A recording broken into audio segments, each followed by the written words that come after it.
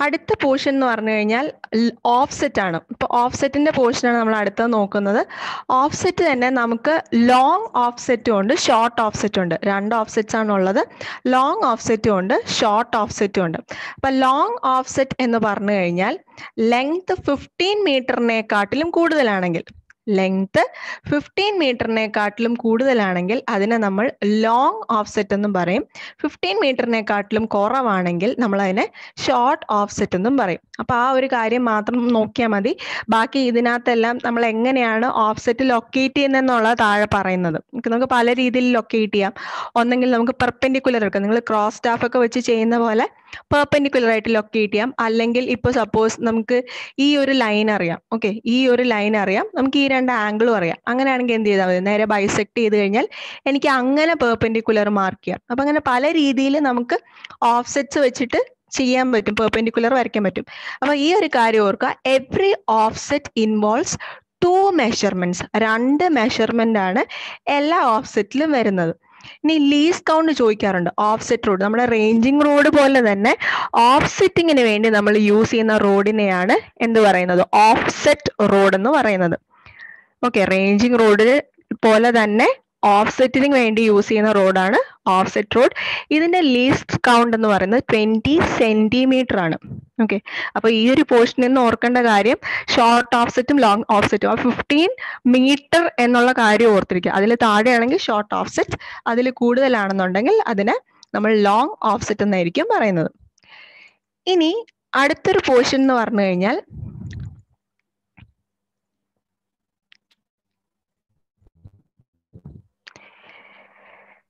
Number of offsets അപ്പൊ സാധാരണ രീതിയിൽ നമുക്ക് രണ്ട് മെഷർമെന്റ്സ് ആണ് ഓഫ്സെറ്റ് എന്നുള്ളത് പക്ഷേ ഒരു സർക്കിളിന്റെ കേസിലാണെന്നുണ്ടെങ്കിൽ ഇറ്റ് ഇസ് വൺ ഒരു ഓഫ്സെറ്റ് ആയിരിക്കും ഉണ്ടായിരിക്കുന്നത് അതേപോലെ തന്നെ വിത്ത് നോട്ട് നോട്ട് എന്ന് പറയുമ്പോൾ നമ്മളിപ്പം ഡ്രോയിങ്ങിലൊക്കെ വരയ്ക്കുമ്പോഴത്തേക്കും ഇത്രയാണ് റേഡിയസ് എന്ന് പറഞ്ഞാണ്. ഒരു ലീഡർ ലൈൻ വരച്ചിട്ട് ഇത്രയാണ് റേഡിയസ് എന്നൊക്കെ കാണിക്കും. അപ്പൊ അതേപോലെയാണ് സർക്കിളിന്റെ കേസിൽ വരുന്നത്. ഒരു ഓഫ്സെറ്റ് ആയിരിക്കും സർക്കിളിന്റെ കേസിൽ വരുന്നത്. അതിന്റെ വിത്ത് നോട്ട് നോട്ട് എന്ന് പറയുന്നത് അതാണ്. സെന്ററിലോട്ടായിരിക്കും കൊടുക്കുന്നത്. ടു ദ സെന്റർ ഇവിടെ നിന്നായിരിക്കും നമ്മൾ ഓഫ്സെറ്റ് സ്റ്റാർട്ട് ചെയ്ത് തുടങ്ങുന്നത്. ഇനി അപ്പൊ ആ ഒരു പോർഷൻ കഴിഞ്ഞു. ആ ഒരു പോർഷനകത്ത് സർവേ സ്റ്റേഷൻസ് എന്താന്ന് നമ്മൾ പറഞ്ഞു. സർവേ ലൈൻസ് ഏതൊക്കെയാണെന്ന് പറഞ്ഞു. അതേപോലെ തന്നെ കുറെ ഡിഫറെന്റ് ഓഫ്സെറ്റിംഗ് മെഷേഴ്സ് ഓഫ്സെറ്റിനെ പറ്റിയും പറഞ്ഞു. ഇനി അടുത്തത് locating a corner of a building ഒരു ബിൽഡിങ്ങിന്റെ കോർണർ എങ്ങനെയാണ് നമ്മൾ മാർക്ക് ചെയ്യുന്നത് എന്നുള്ളതാണ് കാണിക്കുന്നത്. So distance measured from the intersection of range line and chain line to the respective corner of a building അപ്പൊ ഇതാണ് ഇതിനകത്ത് ഈ റെഡ് കളറിൽ കാണിച്ചേക്കുന്നതാണ് നമ്മുടെ ബിൽഡിംഗ് എന്ന് പറയുന്നത്. അതിനെ നമ്മളിങ്ങനെ എക്സ്റ്റെൻഡ് ചെയ്ത് വരയ്ക്കുന്ന അതിനെയാണ് റേഞ്ച് ലൈൻ എന്ന് പറയുന്നത്. അപ്പൊ നേരത്തെ പോലെ തന്നെ ചെക്ക് ചെയ്യാൻ വേണ്ടി യൂസ് ചെയ്യുന്ന ലൈനെ ചെക്ക് ലൈൻ എന്ന് പറയുന്നത്. അപ്പൊ ഇതിനകത്ത് അങ്ങനെ ക്വസ്റ്റ്യൻസ് ഒന്നും ചോദിച്ചു കണ്ടിട്ടില്ല ഒരു പോർഷനകത്ത് നിന്ന് ഇത് മാത്രമാണ് ചോദിച്ചിട്ടുള്ളത് സർവേ ബുക്ക് അതായത് ഫീൽഡ് ബുക്കില്ലേ നമ്മൾ യൂസ് ചെയ്യുന്ന ഫീൽഡ് ബുക്കിന്റെ സൈസ് എത്രയാന്നുള്ളത് ചോദിച്ചിട്ടുണ്ട്. ഇപ്പൊ twenty by twelve centimetre twenty by twelve centimetre ആണ് ചെയിൻ സർവേക്ക് നമ്മൾ യൂസ് ചെയ്യുന്ന ഫീൽഡ് ബുക്കിന്റെ സൈസ്. അതുപോലെ തന്നെ it is usually double line അതും കൂടെ നിങ്ങൾ ഓർത്തിരിക്കണം. ഡബിൾ ലൈൻ ആണെന്നുള്ളത് കാരണം നമുക്ക് സിംഗിൾ ലൈനും വരുന്നുണ്ട്. ഇപ്പൊ ലാർജ് സ്കെയിൽ വർക്ക് ഒക്കെ ആണെങ്കിൽ നമ്മൾ സിംഗിൾ ലൈൻ ബുക്ക് ആയിരിക്കും യൂസ് ചെയ്യുന്നത്. ആ ക്വസ്റ്റ്യനും ചോദിച്ചിട്ടുള്ളതാണ്. അപ്പോൾ നമ്മൾ സാധാരണ രീതിയിൽ യൂസ് ചെയ്യുന്നത് ഡബിൾ ലൈൻ ബുക്കാണ് ട്വന്റി ബൈ ട്വൽവ് സെന്റിമീറ്റർ ആണ്. ഇനി സിംഗിൾ ലൈൻ ആണെന്ന് പറയുമ്പോഴത്തേക്ക് ലാർജ് സ്കെയിൽ വർക്കിനാണ് നമ്മൾ സിംഗിൾ ലൈൻ ബുക്ക് യൂസ് ചെയ്യുന്നത്. ഇനി ഫീൽഡ് ബുക്കിൽ ഇപ്പൊ ഫീൽഡ് ബുക്കിൽ ഇമ്പോർട്ടന്റ് ആയിട്ടുള്ള കാര്യങ്ങളാണ് അടുത്ത് നോക്കുന്നത്. ഫീൽഡ് ബുക്കിൽ കീ പ്ലാൻ അല്ലെങ്കിൽ ഇൻഡെക്സ് സ്കെച്ച് കീ പ്ലാൻ അല്ലെങ്കിൽ ഇൻഡെക്സ് സ്കെച്ച് വരയ്ക്കുന്ന സ്കെയിൽ എത്രയാന്നുള്ളത് ചോദിക്കാറുണ്ട്. അപ്പൊ കീ പ്ലാൻ എന്ന് പറഞ്ഞാൽ എന്താണ്? നമ്മളൊരു ഗ്രൗണ്ടിൽ ചെല്ലുമ്പോഴത്തേക്ക് ആദ്യമായിട്ട് റഫായിട്ട് വരയ്ക്കുന്ന ഒരു ഫിഗറിനെയാണ് കീ പ്ലാൻ അല്ലെങ്കിൽ ഇൻഡെക്സ് സ്കെച്ച് എന്ന് പറയുന്നത്. അപ്പൊ അതെന്ന് പറയുന്നത് it is not in scale ഓർക്കേണ്ട പോയിന്റ് ആണ്. That is not in scale നമ്മൾ ഒരിക്കലും സ്കെയിലിലായിരിക്കില്ല കീ പ്ലാൻ അല്ലെങ്കിൽ ഇൻഡെക്സ് സ്കെച്ച് വരയ്ക്കുന്നത്. അപ്പൊ ആദ്യം നമ്മൾ ചെയ്യേണ്ട എന്താണ്? ഒരു ഫിഗർ വരയ്ക്കുമ്പോഴത്തേന് ആദ്യം സർവേയിൽ നോർത്ത് ഡയറക്ഷൻ മാർക്ക് ചെയ്യണം. നോർത്ത് ഡയറക്ഷൻ മാർക്ക് ചെയ്യുന്നതെന്ന് പറഞ്ഞു കഴിഞ്ഞാൽ ടോപ്പ് റൈറ്റ് നമ്മൾ എപ്പോഴും പറയുന്നത് ടോപ്പ് റൈറ്റിലാണ് നോർത്ത് ഡയറക്ഷൻ മാർക്ക് ചെയ്യേണ്ടത്. പിന്നെ നമ്മൾ മാർക്ക് ചെയ്യേണ്ടത് ബൗണ്ടറി ലൈൻസ് പിന്നെ survey stations main station subsidiary stations പിന്നെ survey lines base line tie line check line അപ്പൊ ഇത്രയുമാണ് അതിനകത്ത് മാർക്ക് ചെയ്യേണ്ടത്. വേറൊരു ക്വസ്റ്റ്യൻ ചോദിച്ചിട്ടുള്ളതാണ് കീ പ്ലാൻ വരയ്ക്കുന്നത് സർവേയിങ്ങിന്റെ ഏത് സ്റ്റേജിലാണെന്ന് ഏത് സ്റ്റേജിലാണ് സർവേയിങ്ങിന്റെ കീ പ്ലാൻ വരയ്ക്കുന്നത് അപ്പൊ റെക്കനൈസൻ സ്റ്റേജ് ആണ്. അപ്പം ആദ്യമായിട്ട് നമ്മൾ ചെന്ന് ആദ്യം കാണുമ്പോഴുള്ള ആ ഒരു സ്റ്റേജ് എങ്ങനെയാണ് ഗ്രൗണ്ട് അവിടെ എന്തൊക്കെയാണ് ഉള്ളത്? അതൊക്കെ നമ്മൾ ജസ്റ്റ് റഫായിട്ട് നോക്കുന്ന ആ ഒരു സ്റ്റേജിനെയാണ് റെക്കനൈസൻ സ്റ്റേജ് എന്ന് പറയുന്നത്. അപ്പം ഈ റെക്കനൈസൻ സ്റ്റേജിലാണ് കീ പ്ലാൻ അല്ലെങ്കിൽ ഇൻഡെക്സ് സ്കെച്ച് നമ്മൾ വരയ്ക്കുന്നത്. And it is not in scale ഈ രണ്ട് കാര്യങ്ങളാണ് ഓർക്കേണ്ടത്. സ്കെയിലിലല്ല വരയ്ക്കുന്നത്. റെക്കനൈസൻ സ്റ്റേജിലാണ് പ്രിപ്പയർ ചെയ്യുന്നത്. ഇനി അടുത്തത് മാർക്കിംഗ് സ്റ്റേഷൻസ് സ്റ്റേഷൻസ് നേരത്തെ പറഞ്ഞ പോലെ തന്നെ സ്റ്റേഷൻസ് മാർക്ക് ചെയ്യുക. ലൊക്കേഷൻ സ്കെച്ച് വരയ്ക്കുക. അതായത് എങ്ങനെ അവിടെ എവിടെയാണ് എത്ര മീറ്റർ മാറിയാണ് എന്നൊക്കെ ഉള്ളത് ലൊക്കേറ്റ് ചെയ്യുക. Marking the distances from some permanent stations അപ്പൊ നമ്മൾ നേരത്തെ ബെഞ്ച് മാർക്കിന്റെ കാര്യമൊക്കെ ആദ്യം പറഞ്ഞായിരുന്നു. ഏതൊക്കെ ബെഞ്ച് മാർക്ക് ആയിരുന്നു ഉണ്ടായിരുന്നത്? ജി ടി എസ് ഉണ്ട് പെർമനന്റ് ഉണ്ട് ടെമ്പററി ഉണ്ട് ആർബിട്രറി ഉണ്ട്. അപ്പൊ അതിനെയൊക്കെ ബേസിൽ നമ്മൾ ജസ്റ്റ് ഒരു റഫ് ആയിട്ട് ഒരു സ്കെച്ച് വരയ്ക്കുന്നു. അതിനകത്തുള്ള മേജർ ആയിട്ടുള്ള നമുക്ക് വേണ്ട കാര്യങ്ങളെല്ലാം വരയ്ക്കുന്നു. ഓഫ്സെറ്റ്സ് എടുക്കുന്നു. അതൊക്കെയാണ് ചെയ്യുന്നത്. അപ്പൊ ഇതിനകത്തുനിന്ന് ആദ്യം പറഞ്ഞ കീ പ്ലാൻ അല്ലെങ്കിൽ ഇൻഡെക്സ് സ്കെച്ചിന്റെ കാര്യം മാത്രം ഓർത്തിരിക്കാം. ഇനി അടുത്തത് വേറൊരു ഇമ്പോർട്ടന്റ് പോർഷൻ ആണ്. Instruments used for setting perpendicular perpendicular set ചെയ്യാൻ അല്ലെങ്കിൽ നയന്റി ഡിഗ്രി സെറ്റ് ചെയ്യാൻ വേണ്ടിയിട്ട് നമ്മൾ യൂസ് ചെയ്യുന്ന ഇൻസ്ട്രുമെന്റ്സ് ഏതൊക്കെയാണ്? അപ്പോൾ നിങ്ങൾക്ക് ഏതൊക്കെ അറിയാവുന്ന അറിയാവുന്ന ഒരെണ്ണമായിരിക്കും ക്രോസ് സ്റ്റാഫ് നിങ്ങൾ ഫസ്റ്റ് ഇയർ തൊട്ടേ യൂസ് ചെയ്യുന്ന ഒരു സംഭവമാണ് ക്രോസ് സ്റ്റാഫ് എന്ന് പറയുന്നത്. അപ്പൊ ക്രോസ് സ്റ്റാഫ് തന്നെ നമുക്ക് മൂന്ന് ടൈപ്പ് ക്രോസ് സ്റ്റാഫ് ഉണ്ട്. ശ്രദ്ധിക്കുക മൂന്ന് ടൈപ്പ് ക്രോസ് സ്റ്റാഫ് ആണ് നമുക്കുള്ളത്. അതിലെ ഫസ്റ്റ് വൺ ആണ് ഓപ്പൺ ക്രോസ് സ്റ്റാഫ് അപ്പൊ ഓപ്പൺ ക്രോസ് സ്റ്റാഫിന്റെ ഒരു പ്രത്യേകത എന്ന് പറഞ്ഞു കഴിഞ്ഞാൽ ഇതിനകത്ത് നമുക്ക് നയന്റി ഡിഗ്രി മാത്രമേ സെറ്റ് ചെയ്യാൻ പറ്റുള്ളൂ. ഓക്കെ ഓപ്പൺ ക്രോസ് സ്റ്റാഫിൽ നയന്റി ഡിഗ്രി മാത്രമേ നമുക്ക് സെറ്റ് ചെയ്യാൻ പറ്റുള്ളൂ. അതിന്റെ ഹൈറ്റ് എന്ന് പറയുന്നത് one point two two one point five metre ആണ്. One point two metre two one point five metre ആണ് ഇതിന്റെ ഹൈറ്റ് വരുന്നത്. ഇനി അടുത്തതാണ് French cross staff French cross staff എന്ന് പറയുമ്പോഴത്തേനും ഇതിന്റെ പ്രത്യേകത നമുക്ക് നയന്റി ഡിഗ്രി മാത്രമല്ല ഫോർട്ടി ഫൈവ് ഡിഗ്രിയും കൂടെ നമുക്ക് ഇതിനകത്ത് സെറ്റ് ചെയ്യാൻ പറ്റും. ഓക്കെ ഈ ക്രോസ് സ്റ്റാഫ് യൂസ് ചെയ്ത് നയന്റി ഡിഗ്രിയും ഫോർട്ടി ഫൈവ് ഡിഗ്രിയും സെറ്റ് ചെയ്യാൻ പറ്റും. ഇനി ഇതിന്റെ ഷേപ്പ് എന്ന് പറയുന്നത് ഒക്ടഗണൽ പ്രിസം ഷേപ്പാണ് ഒക്ടഗണൽ പ്രിസം ഷേപ്പാണ് ഫ്രഞ്ച് ക്രോസ് സ്റ്റാഫിൽ നമ്മൾ യൂസ് ചെയ്യുന്നത്.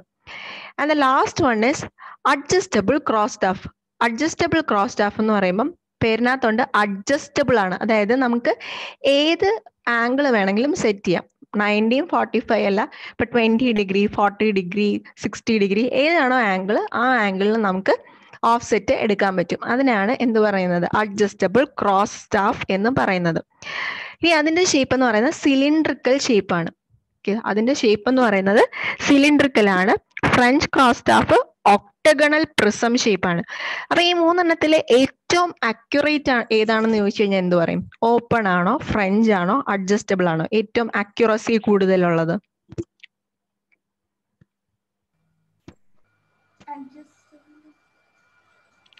ഓപ്പൺ ക്രോസ് സ്റ്റാഫ് ആണ്. കാരണം എന്താണ്? നമുക്ക് അതിനകത്ത് നയന്റി ഡിഗ്രി മാത്രമേ സെറ്റ് ചെയ്യാൻ പറ്റുള്ളൂ. അപ്പൊ അതുകൊണ്ട് അതാണ് കൂട്ടത്തിൽ ഏറ്റവും അക്യുറേറ്റ് എന്ന് പറയുന്നത്. ക്രോസ് സ്റ്റാഫ്സിൽ ഏറ്റവും അക്യുറസി കൂടുതലുള്ളത് ഓപ്പൺ ക്രോസ് സ്റ്റാഫിനാണ് കാരണം അതിൽ നയന്റി ഡിഗ്രി മാത്രമേ നമുക്ക് സെറ്റ് ചെയ്യാൻ പറ്റുള്ളൂ. ഇനി ഓപ്റ്റിക്കൽ സ്ക്വയർ അതാണ് നയന്റി ഡിഗ്രി മാർക്ക് ചെയ്യാൻ വേണ്ടി നമ്മൾ യൂസ് ചെയ്യുന്ന മറ്റൊരു ഇൻസ്ട്രുമെന്റ് അപ്പോൾ ഫസ്റ്റ് ക്രോസ് സ്റ്റാഫ് നോക്കി രണ്ടാമത്തത് ഓപ്റ്റിക്കൽ സ്ക്വയർ അപ്പോൾ ഓപ്റ്റിക്കൽ സ്ക്വയറിൽ നമുക്ക് ഒരു സർക്കുലർ ബോക്സ് പോലെയാണ് ഓക്കെ ഒരു സർക്കുലർ ബോക്സ് പോലെയാണ് having diameter of five centimetre and diameter of five centimetre and depth of two point five centimetre അങ്ങനെ കൺഫ്യൂഷൻ ആക്കണ്ട. റേഡിയസും ഡെപ്തും രണ്ടും ടു പോയിന്റ് ഫൈവ് സെന്റിമീറ്റർ ആണെന്ന് ഓർക്കാം. റേഡിയസും ഡെപ്തും രണ്ടും ടു പോയിന്റ് ഫൈവ് സെന്റിമീറ്റർ അപ്പൊ ഡയമീറ്റർ ഫൈവ് ആണ് നമുക്ക് അതിനകത്തുനിന്ന് കിട്ടും. ഇപ്പൊ രണ്ട് ഏതാണ് ഡെപ്ത് ഏതാണ് റേഡിയസ് അങ്ങനെ ഡയമീറ്റർ എന്ന് കൺഫ്യൂഷൻ ആവണ്ട. റേഡിയസും ഡെപ്തും രണ്ടും ടു പോയിന്റ് ഫൈവ് സെന്റിമീറ്റർ ആണ്. ഇനി അതിനകത്ത് രണ്ട് മിററാണ് നമുക്കുള്ളത്. ഹൊറൈസൺ മിററും ഉണ്ട് ഇൻഡെക്സ് മിററും ഉണ്ട്. രണ്ട് മിറേഴ്സ് ഉണ്ട് ഹൊറൈസൺ മിററും ഉണ്ട് ഇൻഡെക്സ് മിററും ഉണ്ട്. ഇനി ഹൊറൈസൺ മിറർ എന്ന് പറയുമ്പോൾ ആ മിററിന്റെ പകുതി സിൽവേർഡും പകുതി അൺസിൽവേർഡും ആയിരിക്കും. ഹൊറൈസൺ മിററിൽ പകുതി അതായത് ഇപ്പോൾ ഒരു മിറർ എന്ന് പറഞ്ഞാൽ ഫുൾ ഇങ്ങനെയാണെങ്കിൽ അതിന്റെ പകുതി അതിന്റെ പകുതി എന്ന് പറയുന്നത് സിൽവേർഡ് ആയിരിക്കും. സിൽവർ കളർ വെച്ച് കോട്ട് ചെയ്തിട്ടുണ്ടാവും. ബാക്കി അൺസിൽവേർഡ് ആയിരിക്കും. ടിൻ ആണ് applying by applying tin tin apply ചെയ്ത് നമ്മൾ എന്ത് ചെയ്യും? അതിനെ സിൽവർ ചെയ്യും. അതേസമയം ഇൻഡെക്സ് മിറർ എന്ന് പറയുമ്പോൾ ഫുള്ളി സിൽവർ ആണ്. ഇൻഡെക്സ് മിറർ എന്ന് പറയുമ്പോൾ ഫുൾ ആയിട്ട് സിൽവർ നമ്മൾ ടിൻ കോട്ട് ചെയ്തിട്ടുണ്ടാവും. വെറാസ് ഹൊറൈസൺ മിറർ ഹൊറൈസൺ എന്ന് പറയുമ്പോഴത്തേക്കും നമുക്കറിയാം അല്ലെ? എന്ത് ഒരു സെമി സർക്കുലറിന്റെ ഷേപ്പാണ് ഹൊറൈസൺ എന്ന് പറയുമ്പോഴത്തേക്കും. അപ്പൊ അങ്ങനെ ഓർത്താൽ മതി ഹാഫ് സിൽവേർഡും ഹാഫ് അൺസിൽവേർഡ് ആണ് in case of horizon mirror and in case of index mirror fully silvered ആണ്. ഇനി അടുത്ത ഏറ്റവും കൂടുതൽ ഇതിനകത്ത് റിപ്പീറ്റഡ് ആയിട്ട് ചോദിച്ചിട്ടുള്ള ഒരു ക്വസ്റ്റ്യൻ ഇതാണ്. റിഫ്ലക്റ്റിംഗ് പ്രിൻസിപ്പിൾ എന്താണെന്ന്? ഓപ്റ്റിക്കൽ സ്ക്വയറിന്റെ പ്രിൻസിപ്പിൾ ചോദിച്ചിട്ടുണ്ട്. എന്താണ്? ഡബിൾ റിഫ്ലക്ഷൻ ആണ്. ക്വസ്റ്റ്യനിനകത്ത് റിഫ്ലക്ഷനും കാണും ഡബിൾ റിഫ്ലക്ഷനും കാണും. ആൻസർ വരുന്നത് ഡബിൾ റിഫ്ലക്ഷൻ ആണ്. ചില ആൻസർ കീയിലൊക്കെ റിഫ്ലക്ഷൻ എന്ന് കാണാറുണ്ട്. പക്ഷെ ആക്ച്വലി അത് ഡബിൾ റിഫ്ലക്ഷൻ ആണ്. പഴയ കീയിലൊക്കെയാണ് റിഫ്ലക്ഷൻ എന്ന് കണ്ടേക്കുന്നത്. പക്ഷെ നിങ്ങളത് നോക്കണ്ട. ഡബിൾ റിഫ്ലക്ഷൻ ആണ് കറക്റ്റ് ആയിട്ടുള്ള answer principle of optical square ആണ് ഡബിൾ റിഫ്ലക്ഷൻ അപ്പൊ ഇതിനകത്ത് നമ്മൾ നേരത്തെ പറഞ്ഞു നമുക്ക് രണ്ട് മിറർ ആണുള്ളത്. ഇൻഡെക്സ് മിററും ഉണ്ട് ഹൊറൈസൺ മിററും ഉണ്ട്. അപ്പോൾ ഇതിനകത്തുനിന്ന് വരുന്ന ക്വസ്റ്റ്യൻസ് എന്ന് പറഞ്ഞു കഴിഞ്ഞാൽ അത് തമ്മിലുള്ള ആംഗിൾ എത്രയാണെന്ന് ചോദിക്കാറുണ്ട്. ഇൻഡെക്സ് മിററും ഹൊറൈസൺ മിററും തമ്മിലുള്ള ആംഗിൾ എത്രയാണുള്ളത് ഫോർട്ടി ഫൈവ് ഡിഗ്രി ആണ് അത് തമ്മിലുള്ള ആംഗിൾ വരുന്നത്. ക്വസ്റ്റ്യൻ ശ്രദ്ധിച്ച് വായിച്ചിട്ട് എഴുതുക. നമുക്കിനി കുറെ ആംഗിൾസ് വരുന്നുണ്ട്. ഇൻഡെക്സ് മിററും ഹൊറൈസൺ മിററും തമ്മിലുള്ള ആംഗിൾ ആണ് ഫോർട്ടി ഫൈവ് ഡിഗ്രി ഇനി ഹൊറൈസൺ മിററും ഹൊറൈസൺ സൈറ്റും തമ്മിലുള്ള ആംഗിൾ ആണ് വൺ ട്വന്റി ഡിഗ്രി ഹൊറൈസൺ മിററും ഹൊറൈസൺ സൈറ്റും തമ്മിൽ. ഇനി ഇൻഡെക്സ് മിററും ഇൻഡെക്സ് സൈറ്റും തമ്മിലുള്ള ആംഗിൾ ആണെങ്കിൽ വൺ നോട്ട് ഫൈവ് ഡിഗ്രി ആണ്. ഓക്കെ ഇൻഡെക്സ് മിററും ഹൊറൈസൺ മിററും തമ്മിൽ അതായത് മിറേഴ്സ് തമ്മിലുള്ള ആംഗിൾ ഫോർട്ടി ഫൈവ് ഡിഗ്രി ആണ്. ഇനി മിററും സൈറ്റും തമ്മിലുള്ള ഉണ്ട് ഇപ്പൊ ഹൊറൈസന്റെ ആണെന്നുണ്ടെങ്കിൽ അതാണ് കൂടുതൽ വൺ ട്വന്റി ഡിഗ്രിയും ഇൻഡെക്സിന്റെ വരുമ്പോഴത്തേക്ക് ഹൺഡ്രഡ് ആൻഡ് ഫൈവ് ഡിഗ്രി ആയിരിക്കും വരുന്നത്. ഇനി അടുത്തത് angle between index sight and horizon sight ഇനി സൈറ്റുകൾ തമ്മിലുള്ള ആംഗിൾ ആണ് ചോദിക്കുന്നതെന്നുണ്ടെങ്കിൽ ഇറ്റ് ഇസ് നയന്റി ഡിഗ്രി അപ്പൊ ഇത്രയും ആംഗിൾസ് നിങ്ങൾ പഠിക്കണം. അപ്പം പ്രിൻസിപ്പിൾ എന്ന് പറയുന്നത് ഡബിൾ റിഫ്ലക്ഷൻ ആണ്. ഇനി രണ്ട് മിറേഴ്സ് ആണ് അതിനകത്തുള്ളത്. ഓപ്റ്റിക്കൽ സ്ക്വയറിൽ ഓപ്റ്റിക്കൽ സ്ക്വയർ യൂസ് ചെയ്യുന്ന എന്തിനാണ്? നയന്റി ഡിഗ്രി സെറ്റ് ചെയ്യാൻ വേണ്ടിയിട്ട്. ഓപ്റ്റിക്കൽ സ്ക്വയർ നമുക്ക് അതിനകത്ത് രണ്ട് മിറേഴ്സ് ഉണ്ട്. ഹൊറൈസൺ മിററും ഉണ്ട്. അതേപോലെ തന്നെ ഇൻഡെക്സ് മിററും ഉണ്ട്. ഹൊറൈസൺ മിറർ എന്ന് പറയുമ്പോഴത്തേക്കും അത് ഹാഫ് സിൽവേർഡും ഹാഫ് അൺസിൽവേർഡും ആണ്. അതേസമയം ഇൻഡെക്സ് മിറർ എന്ന് പറയുമ്പോൾ ഫുള്ളി സിൽവേർഡ് ആയിരിക്കും. ഇനി നമ്മൾ സിൽവർ ചെയ്യുന്ന എന്ത് ഉപയോഗിച്ചിട്ടാണ്? ടിൻ കോട്ട് ചെയ്തിട്ടാണ് സിൽവറിങ് ചെയ്യുന്നത്. ഇനി ആംഗിൾസ് പറയുമ്പോഴത്തേനും ഇത് തമ്മിലുള്ള ആംഗിൾ ഇൻഡെക്സ് മിററും ഹൊറൈസണും മിററും തമ്മിലുള്ള ആംഗിൾ ആണെങ്കിൽ ഫോർട്ടി ഫൈവ് ഡിഗ്രി ഇതിന്റെ സൈറ്റുകൾ തമ്മിലുള്ളതാണെങ്കിൽ അതിന്റെ നേരെ ഇരട്ടി അതായത് നയന്റി ഡിഗ്രി ഇനി സൈറ്റും മിററും തമ്മിലുള്ള ആംഗിൾ ചോദിക്കാറുണ്ട്. ഹൊറൈസൺ മിററും ഹൊറൈസൺ സൈറ്റും തമ്മിലാണെങ്കിൽ വൺ ട്വന്റി ഡിഗ്രി ഇൻഡെക്സ് മിററും ഇൻഡെക്സ് സൈറ്റും തമ്മിലാണെങ്കിൽ വൺ നോട്ട് ഫൈവ് ഡിഗ്രി അപ്പൊ ഹൊറൈസന്റെതാണ് കൂടുതൽ എന്ന് ഓർക്കുക. ഹൊറൈസന്റെ ആണ് ആംഗിൾ കൂടുതൽ. ഇനി ചോദിക്കുന്ന വേറൊരു ടൈപ്പ് ഓഫ് ക്വസ്റ്റ്യൻ ആണ് ഒബ്സ്ട്രക്ഷൻസ് ഇത് നിങ്ങൾക്ക് വെറുതെ കോമൺ സെൻസ് ഉണ്ടെങ്കിൽ എഴുതാവുന്ന കാര്യമാണ്. ഭയങ്കര എളുപ്പമുള്ള ഒരു കാര്യമാണ്. അപ്പൊ നമുക്ക് അതിനകത്ത് മൂന്ന് കേസാണ് വരുന്നത്. അപ്പൊ അതിലെ ഫസ്റ്റ് കേസ് എന്ന് പറയുന്നത് chaining free but vision obstructed അപ്പൊ അതിന്റെ ഒരു എക്സാമ്പിൾ ആണ് റൈസിംഗ് ഗ്രൗണ്ട് അതായത് ഇപ്പൊ ഒരു കുന്നോ മലയോ അങ്ങനെ എന്തെങ്കിലും ആണെന്ന് നിങ്ങളൊന്ന് ഇമാജിൻ ചെയ്യാം. അപ്പൊ അതിനകത്ത് എ ബി ഈ രണ്ട് പോയിന്റ്സിന്റെ ഇടയ്ക്കുള്ള ആ ഒരു ഡിസ്റ്റൻസ് ആണ് എനിക്ക് മെഷർ ചെയ്യേണ്ടതെന്ന് ഓർക്കുക. അപ്പൊ ഇതിനകത്ത് ഒരു റൈസിംഗ് ഗ്രൗണ്ട് ആണ് അല്ലെ? പക്ഷെ എനിക്ക് ഇതിന്റെ മുകളിൽ കൂടെ ചെയിനെ വലിച്ചയച്ചുകൊണ്ട് പോകാൻ പറ്റും. പക്ഷെ എനിക്ക് എന്ന് നോക്കിയാൽ ബിയും ബി എന്ന് നോക്കിയ എയും കാണാൻ പറ്റില്ല. അതാണ് ചെയിനിങ് ഫ്രീ അതായത് ചെയിനിങ് എനിക്ക് ചെയ്യാൻ പറ്റും ബട്ട് വിഷൻ ഒബ്സ്ട്രക്റ്റഡ് അത് തമ്മിലുള്ള വിഷൻ എന്ന് പറയുന്നത് ഇല്ല. അതാണ് റൈസിങ് ഗ്രൗണ്ട് അടുത്തത് vision free but chaining obstructed എനിക്ക് തമ്മിൽ കാണാൻ പറ്റും. എയും ബിയും തമ്മിൽ തമ്മിൽ കാണാൻ പറ്റും ബട്ട് ചെയിനിങ് ഓബ്സ്ട്രക്റ്റഡ് പക്ഷേ ചെയിൻ ചെയ്യാൻ പറ്റില്ല. അതിന്റെ എക്സാമ്പിൾ ആണ് റിവർ ഓക്കെ റിവറിനെ നിങ്ങൾക്ക് അറിയാം. അതിനകത്ത് അതിനകത്തുകൂടെ നമുക്ക് ചെയിൻ എടുത്തോണ്ട് പോകാൻ പറ്റില്ല. പക്ഷെ തമ്മിൽ കാണാൻ പറ്റും. അതിന്റെ എക്സാമ്പിൾ ആണ് റിവർ. ഇനി മൂന്നാമത്തെ കേസാണ് both chaining and vision obstruct രണ്ടും പറ്റില്ല ചെയിൻ ചെയ്യാനും പറ്റില്ല തമ്മിൽ കാണാനും പറ്റില്ല അതാണ് എക്സാമ്പിൾ ആണ് ഒരു ബിൽഡിംഗ് ഒരു ബിൽഡിംഗ് ഉണ്ടെങ്കിൽ ബിൽഡിങ്ങിന്റെ അപ്പുറത്തും ഇപ്പുറത്തും ഉള്ള രണ്ട് പോയിന്റ്സ് ആണ് എയും ബിയും എനിക്ക് അതിനെ തമ്മിൽ കാണാനും പറ്റില്ല അതിന് തമ്മിലുള്ള മെഷർമെന്റ് തൊട്ട് എടുക്കാനും പറ്റില്ല ബൈ യൂസിങ് ചെയിൻ ഓക്കെ അപ്പൊ ഇതാണ് മൂന്ന് കേസ് വരുന്നത്. ഇതുവരെ പഠിച്ചതെല്ലാം ക്ലിയർ ആണോ?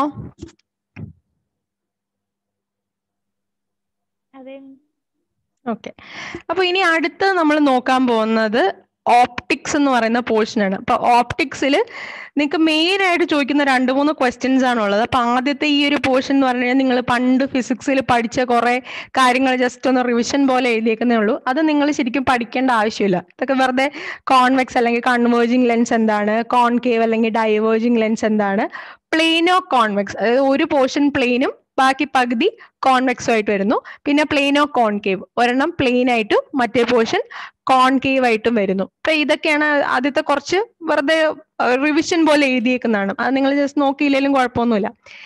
ഡിഫക്ട്സ് നിങ്ങൾ നോക്കണം. ഓക്കെ ഡിഫക്ട്സിനകത്ത് നമുക്ക് മെയിൻ ആയിട്ട് രണ്ട് ഡിഫക്ട്സ് ആണ് വരുന്നത്. സ്പിറിക്കൽ അബറേഷനും വരുന്നുണ്ട്. ക്രോമാറ്റിക് അബറേഷനും വരുന്നുണ്ട്. ഓക്കെ സ്പിറിക്കൽ അബറേഷനും ഉണ്ട് ക്രോമാറ്റിക് അബറേഷനും ഉണ്ട്. അപ്പൊ പേരിനകത്ത് തന്നെ ഉണ്ട് സ്പിറിക്കൽ അബറേഷൻ ഇത് ട്രൂലി സ്പിറിക്കൽ ആണെങ്കിൽ ഉണ്ടാവുന്ന ഒരു എറർ അല്ലെങ്കിൽ ഡിഫക്റ്റ് ആണ് സ്പിറിക്കൽ അബറേഷൻ കൺവേ കൺവേർജസ് ടു ഡിഫറെന്റ് പോയിന്റ്സ് ഇപ്പൊ സാധാരണ എന്ന് പറയുമ്പോൾ കൺവേർജ് ചെയ്യുമ്പോൾ എങ്ങനെയാണ്? ഒറ്റ പോയിന്റിലോട്ട് ഇതേപോലെ ഒറ്റ പോയിന്റിലോട്ട് വേണം കൺവേർജ് ചെയ്യാൻ. പക്ഷേ ഈ സ്പിറിക്കൽ അബറേഷൻ ഉള്ളത് കൊണ്ട് എന്ത് പറ്റും? കൺവേർജസ് ടു ഡിഫറെന്റ് പോയിന്റ്സ് പല പോയിന്റ്സിലോട്ടായിരിക്കും കൺവേർജ് ചെയ്യുന്നത്. അപ്പൊ അതിനെയാണ് സ്പിറിക്കൽ അബറേഷൻ എന്ന് പറയുന്നത്. ഇനി രണ്ടാമത്താണ് ക്രോമാറ്റിക് അബറേഷൻ അല്ലെ? ക്രോമാറ്റിക് അബറേഷൻ ക്രോമാറ്റിക് അബറേഷൻ എന്ന് പറയുമ്പോൾ it is due to the dispersion of white light passing through a lens ഒരു ലെൻസിനകത്ത് കൂടെ പാസ് ചെയ്യുന്ന വൈറ്റ് ലൈറ്റിന്റെ ഡിസ്പേർഷൻ കാരണം വിബ്ജിയോറിനെ ഒക്കെ പഠിച്ചിട്ടില്ലേ? അതേപോലെ ആ ലെൻസിനകത്തൂടെ പാസ് ചെയ്യുന്ന വൈറ്റ് ലൈറ്റിന്റെ ഡിസ്പേർഷൻ കാരണം ഉണ്ടാകുന്ന ഒരു എഫക്റ്റ് ആണ് ക്രൊമാറ്റിക് അബ്രേഷൻ അതെങ്ങനെയാണ് കറക്റ്റ് ചെയ്യുന്നതെന്ന് വെച്ച് കഴിഞ്ഞാൽ ക്രൊമാറ്റിക് ലെൻസ് ഉപയോഗിച്ചിട്ടാണ് ക്രൊമാറ്റിക് അബ്രേഷൻ കറക്റ്റ് ചെയ്യുന്നത്. പേരിനകത്ത് തന്നെ ഉണ്ട്. സ്പിറിക്കൽ അബ്രേഷൻ ആണ് നമുക്ക് സോൾവ് ചെയ്യേണ്ടതെന്നുണ്ടെങ്കിൽ സ്പിറിക്കൽ ലെൻസ് യൂസ് ചെയ്യും. ക്രൊമാറ്റിക് അബ്രേഷൻ ആണെന്നുണ്ടെങ്കിൽ ക്രൊമാറ്റിക് ലെൻസ് യൂസ് ചെയ്യും. അപ്പൊ ഈ ക്രൊമാറ്റിക് ലെൻസ് എന്ന് പറയുന്നത് it is a combination of concave and convex lens concave ലെൻസിന്റെയും convex ലെൻസിന്റെയും കൂടെ ഒരു കോമ്പിനേഷൻ ആണ് ക്രോമാറ്റിക് ലെൻസ് എന്ന് പറയുന്നത്. ഇനി അടുത്തതാണ് ടെലസ്കോപ്പ് ഇപ്പൊ ടെലസ്കോപ്പിൽ നമുക്കറിയാം നമ്മുടെ ഡംബി ലെവലിലും തിയോഡലൈറ്റിലും എല്ലാത്തിനകത്തും ഒരു ടെലസ്കോപ്പ് ഉണ്ടാവും അല്ലെ? അപ്പൊ ഈ ടെലസ്കോപ്പിൽ നമുക്ക് രണ്ട് ടൈപ്പ് ടെലസ്കോപ്പ് ഉണ്ടാവും. എക്സ്റ്റേണൽ ഫോക്കസിംഗും ഉണ്ട് ഇന്റേണൽ ഫോക്കസിംഗും ഉണ്ട്. അപ്പൊ ഇപ്പൊ നിങ്ങൾ യൂസ് ചെയ്തുകൊണ്ടിരിക്കുന്ന തിയോഡലൈറ്റും ഡംപി ലെവലൊക്കെ എക്സ്റ്റേണൽ ആണോ ഇന്റേണൽ ഫോക്കസിംഗ് ആണോ?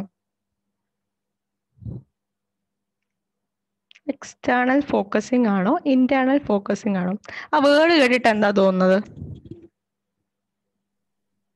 ഇന്റേണൽ ഫോക്കസ് ഇന്റേണൽ ഫോക്കസിംഗ് ആണ് കറക്റ്റ് ആണ്. കാരണം എന്താണ്? നമുക്ക് അതിനകത്തുനിന്ന് ആ പുറത്തോട്ട് ആ ലെൻസ് വരുന്നതായിട്ടൊന്നും തോന്നില്ല. അതേസമയം നമുക്കിപ്പോ ഫോർ എക്സാമ്പിൾ നിങ്ങളുടെ ഒരു D S L R camera ഒക്കെ ആണെങ്കിൽ നിങ്ങൾ സൂം ചെയ്യുന്നതനുസരിച്ച് ആ ലെൻസ് പുറത്തോട്ട് വരും അല്ലെ? അതാണ് എക്സ്റ്റേണൽ ഫോക്കസിംഗ് എന്ന് പറഞ്ഞാൽ ഇന്റേണൽ ഫോക്കസ് എന്ന് പറഞ്ഞു കഴിഞ്ഞാൽ ആ ഒരു ടെലസ്കോപ്പിന് അകത്ത് തന്നെയാണ് ഫോക്കസിംഗ് എല്ലാം നടക്കുന്നത്. നമുക്കത് കാണാൻ പറ്റൂല. ആ ലെൻസ് ഒന്നും കാണാൻ പറ്റൂല. അപ്പൊ അതാണ് ഇന്റേണൽ ഫോക്കസിംഗ് എന്ന് പറഞ്ഞാൽ എക്സ്റ്റേണൽ ഫോക്കസിംഗ് എന്ന് പറയുമ്പോഴത്തേനും പുറത്തോട്ട് നമുക്ക് കാണാൻ പറ്റുന്നത്. ഇനി ഇനി ഞാനത് സൈഡിൽ എഴുതിയേക്കുന്നതിനകത്ത് നിങ്ങൾ ഇമ്പോർട്ടന്റ് ആയിട്ട് ഓർക്കേണ്ട കാര്യം എന്ന് പറഞ്ഞു കഴിഞ്ഞാൽ മാഗ്നിഫിക്കേഷൻ കൂടുമ്പോൾ ബ്രൈറ്റ്നെസ് കൂടുവോ അതോ കുറയോ എന്ന് ആലോചിച്ച് നോക്കിയാൽ നിങ്ങളിപ്പോൾ ഒരു ക്യാമറയിൽ ഒരു ഫോട്ടോ എടുക്കുകയാണ് അപ്പൊ ദൂരെയുള്ള ഒരു ഫോട്ടോയാണ് നിങ്ങൾ എടുക്കുന്നത്. അപ്പൊ നിങ്ങൾ എന്ത് ചെയ്യും? സൂം ചെയ്യും അല്ലെ? അതിനാണ് മാഗ്നിഫൈ ചെയ്യുക എന്ന് പറയുന്നത്. ചെറുതായിട്ടുള്ള ഒരു സാധനം നമ്മൾ വലുതാക്കാൻ വേണ്ടി സൂം ചെയ്യും. അപ്പൊ അങ്ങനെ മാഗ്നിഫൈ ചെയ്യുമ്പോഴത്തേക്ക് ക്ലാരിറ്റി കൂടുവോ അതോ കുറയോ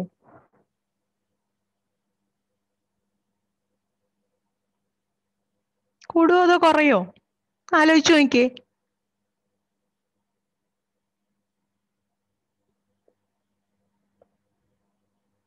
ആലോചിച്ചു നോക്ക്. എന്താ പറ്റുന്നേ? ദൂരെയുള്ള ഒരു സാധനം. നിങ്ങളിപ്പോ ഒരു സ്റ്റേജിലെ ഒരു പെർഫോമൻസ് നിങ്ങൾ സൂം ചെയ്ത് എടുക്കണം ഒത്തിരി ദൂരത്തുനിന്ന് അപ്പോഴത്തേക്ക് ഒത്തിരി ദൂരത്തുനിന്ന് നമ്മൾ സൂം ചെയ്ത് എന്തുമാത്രം ക്ലാരിറ്റി കിട്ടും? അധികം കിട്ടില്ല അല്ലെ? അപ്പോൾ ആ മാഗ്നിഫിക്കേഷൻ നമ്മൾ കൂടുന്ന അനുസരിച്ച് നമ്മുടെ ബ്രൈറ്റ്നെസ് കുറയുകയാണ് ചെയ്യുന്നത്. ഓക്കെ മാഗ്നിഫിക്കേഷൻ കൂടുന്ന അനുസരിച്ച് ബ്രൈറ്റ്നെസ് കുറയുകയാണ് ചെയ്യുന്നത്. ഇനി ഇതിനകത്ത് നിങ്ങൾക്ക് മെയിൻ ആയിട്ട് പഠിക്കേണ്ട കാര്യം എന്ന് വെച്ചാൽ ഒരു ഇന്റേണൽ ഫോക്കസിംഗ് ആയിട്ടുള്ള ഒരു ടെലസ്കോപ്പ് ആണെങ്കിൽ അത് നമ്മൾ ടാക്യോമെട്രിക് യൂസ് ചെയ്യും. ടാക്യോമെട്രി എന്ന് പറഞ്ഞാൽ നിങ്ങൾ ലാസ്റ്റ് ടാക്യോമെട്രിക് സർവേയിങ് പഠിക്കുന്നുണ്ട്. അപ്പൊ ആ ടാക്യോമെട്രിയുടെ അകത്ത് നിങ്ങൾ ഡിസ്റ്റൻസ് കാൽക്കുലേറ്റ് ചെയ്യുമ്പോൾ D is equal to K S plus C അങ്ങനെ ഒരു ഇക്വേഷൻ യൂസ് ചെയ്തിട്ടാണ് ഡിസ്റ്റൻസ് കാൽക്കുലേറ്റ് ചെയ്യുന്നത്. D is equal to K S plus C അതിൽ കെ എന്ന് പറയുന്ന മൾട്ടിപ്ലൈങ് കോൺസ്റ്റന്റ് സി എന്ന് പറയുന്നത് അഡീഷൻ കോൺസ്റ്റന്റ് എസ് എന്ന് പറയുന്നത് സ്റ്റാഫ് ഇന്റർസെപ്റ്റ് അപ്പോൾ ഇതിനകത്ത് നിങ്ങൾക്ക് ചോദിക്കുന്ന ക്വസ്റ്റ്യൻ ഒരുപാട് പ്രാവശ്യം ചോദിച്ചിട്ടുള്ള ക്വസ്റ്റ്യൻ ആണ് ഈ മൾട്ടിപ്ലൈങ് കോൺസ്റ്റന്റിന്റെയും അഡീഷണൽ കോൺസ്റ്റന്റിന്റെയും വാല്യൂ എത്രയാന്നുള്ളത്. മൾട്ടിപ്ലൈങ് കോൺസ്റ്റന്റ് എന്ന് പറയുന്നത് ഹൺഡ്രഡും അഡീഷൻ കോൺസ്റ്റന്റ് എന്ന് പറയുന്നത് സീറോയും ആണ്. ഓക്കെ മൾട്ടിപ്ലൈങ് കോൺസ്റ്റന്റ് എന്ന് പറയുന്നത് ഹൺഡ്രഡും അഡീഷൻ കോൺസ്റ്റന്റ് എന്ന് പറയുന്നത് സീറോയും അതെന്ന് പറയുന്നത് in case of internal focusing ടാക്യോമെട്രിക്ക് use ചെയ്യുന്ന ഇന്റേണൽ ഫോക്കസിങ്ങിന്റെ കാര്യത്തിൽ മാത്രമാണ് ഇങ്ങനെ വരുന്നത്. ഹൺഡ്രഡും സീറോയും അല്ലാതെ ഇങ്ങനെ ഒരു റേഞ്ച് ആയിട്ട് ചോദിക്കുകയാണെന്നുണ്ടെങ്കിൽ നിങ്ങൾക്ക് thirty to forty five centimetre എന്നൊരു ഓപ്ഷൻ കാണും. ഓക്കെ ഇങ്ങനെ ഹൺഡ്രഡ് സീറോ സീറോ ഹൺഡ്രഡ് അങ്ങനെ പല രീതിയിൽ മാറി മറിച്ചൊക്കെ ചോദിക്കാം. അപ്പോൾ മൾട്ടിപ്ലൈങ് ഹൺഡ്രഡും അഡീഷൻ സീറോ ആണെന്നുള്ളത് ഓർക്കുക. ഇനി അല്ലാതെ റേഞ്ച് ആയിട്ടാണെന്നുണ്ടെങ്കിൽ തേർട്ടി ടു ഫോർട്ടി ഫൈവ് എന്നുള്ളത് ഓപ്റ്റ് ചെയ്യാം. ഇനി അടുത്തതാണ് analytic lens okay analytic lens ഏതാണ് എന്ന് ചോദിക്കാറുണ്ട്. എക്സ്റ്റേണൽ ഫോക്കസിങ്ങിൽ നമ്മൾ യൂസ് ചെയ്യുന്ന അനലിറ്റിക് ലെൻസിന്റെ ടൈപ്പ് ഇതെല്ലാം ഇവിടെ വെച്ച് തന്നെ നിങ്ങൾ പഠിച്ചുകൊണ്ട് പോവുക പിന്നീട് നിങ്ങൾ പഠിക്കാൻ നിന്ന് കഴിഞ്ഞാൽ നിങ്ങൾക്ക് എല്ലാം കൂടെ കൺഫ്യൂഷൻ ആയി പോകും ഓക്കെ അപ്പൊ അനലിറ്റിക് ലെൻസിനകത്ത് നമ്മൾ യൂസ് ചെയ്യുന്നത് കോൺവെക്സ് ലെൻസ് ആണ്. അനലിറ്റിക് ലെൻസിൽ യൂസ് ചെയ്യുന്നത് കോൺവെക്സ് ലെൻസ് ആണ്. അപ്പൊ അനലിറ്റിക് ലെൻസ് നമ്മൾ എന്തിലാണ് യൂസ് ചെയ്യുന്നത്? എക്സ്റ്റേണൽ ഫോക്കസിങ് അത് എക്സ്റ്റേണൽ ഫോക്കസിങ്ങിലാണ് അനലിറ്റിക് ലെൻസ് യൂസ് ചെയ്യുന്നത്. അനലിറ്റിക് ലെൻസ് എന്ന് പറയുന്നത് it is a convex lens ഇനി the image is brought to diaphragm by using double concave lens അപ്പൊ ക്വസ്റ്റ്യൻ ചോദിക്കുന്നത് ഇങ്ങനെയായിരിക്കും. Additional lens used in internal focusing lens additional lens അപ്പൊ additional എന്ന് പറഞ്ഞു കഴിയുമ്പോഴത്തേക്ക് നമുക്ക് അറിയാം. ഒരു ലെൻസും കൂടിയുണ്ട്. അതാണ് ഡബിൾ അപ്പൊ ഡബിൾ കോൺകേവ് ലെൻസ് ആണ് additional lens in internal focusing lens telescope അപ്പൊ നമുക്ക് ഇന്റേണൽ ഫോക്കസിംഗ് ടെലസ്കോപ്പും ഉണ്ട് എക്സ്റ്റേണൽ ഫോക്കസിംഗ് ടെലസ്കോപ്പും ഉണ്ട്. അപ്പൊ അതിനകത്ത് അനലിറ്റിക് ലെൻസ് നമ്മൾ യൂസ് ചെയ്യുന്നത് ഇന്റേണൽ ഫോക്കസിംഗിലാണ് എക്സ്റ്റേണൽ ഫോക്കസിംഗ് സോറി എക്സ്റ്റേണൽ ഫോക്കസിംഗിലാണ് ഇന്റേണൽ ഫോക്കസിങ്ങിൽ നമ്മളൊരു ഡബിൾ കോൺകേവ് ലെൻസ് ആണ് യൂസ് ചെയ്യുന്നത്. ഇന്റേണൽ ഫോക്കസിങ്ങിൽ ഡബിൾ കോൺകേവ് ലെൻസും എക്സ്റ്റേണൽ ഫോക്കസിങ്ങിൽ അനലിറ്റിക് ലെൻസും ആയിരിക്കും യൂസ് ചെയ്യുന്നത്. അനലിറ്റിക് ലെൻസ് യൂസ് ചെയ്യുന്നത് കോൺവെക്സ് ലെൻസ് ആണ്. അപ്പൊ ഇത്രയും കാര്യം നീ പറഞ്ഞത് ഇപ്പൊ തന്നെ ഒന്ന് പഠിച്ചേ. അനലിറ്റിക് ലെൻസ് എന്ന് പറയുന്നത് കോൺവെക്സ് ആണ്. അതേപോലെ additional lens used in internal focusing എന്ന് പറയുന്നത് ഡബിൾ കോൺകേവ് ലെൻസ് ആണ്. നോക്കിയേ.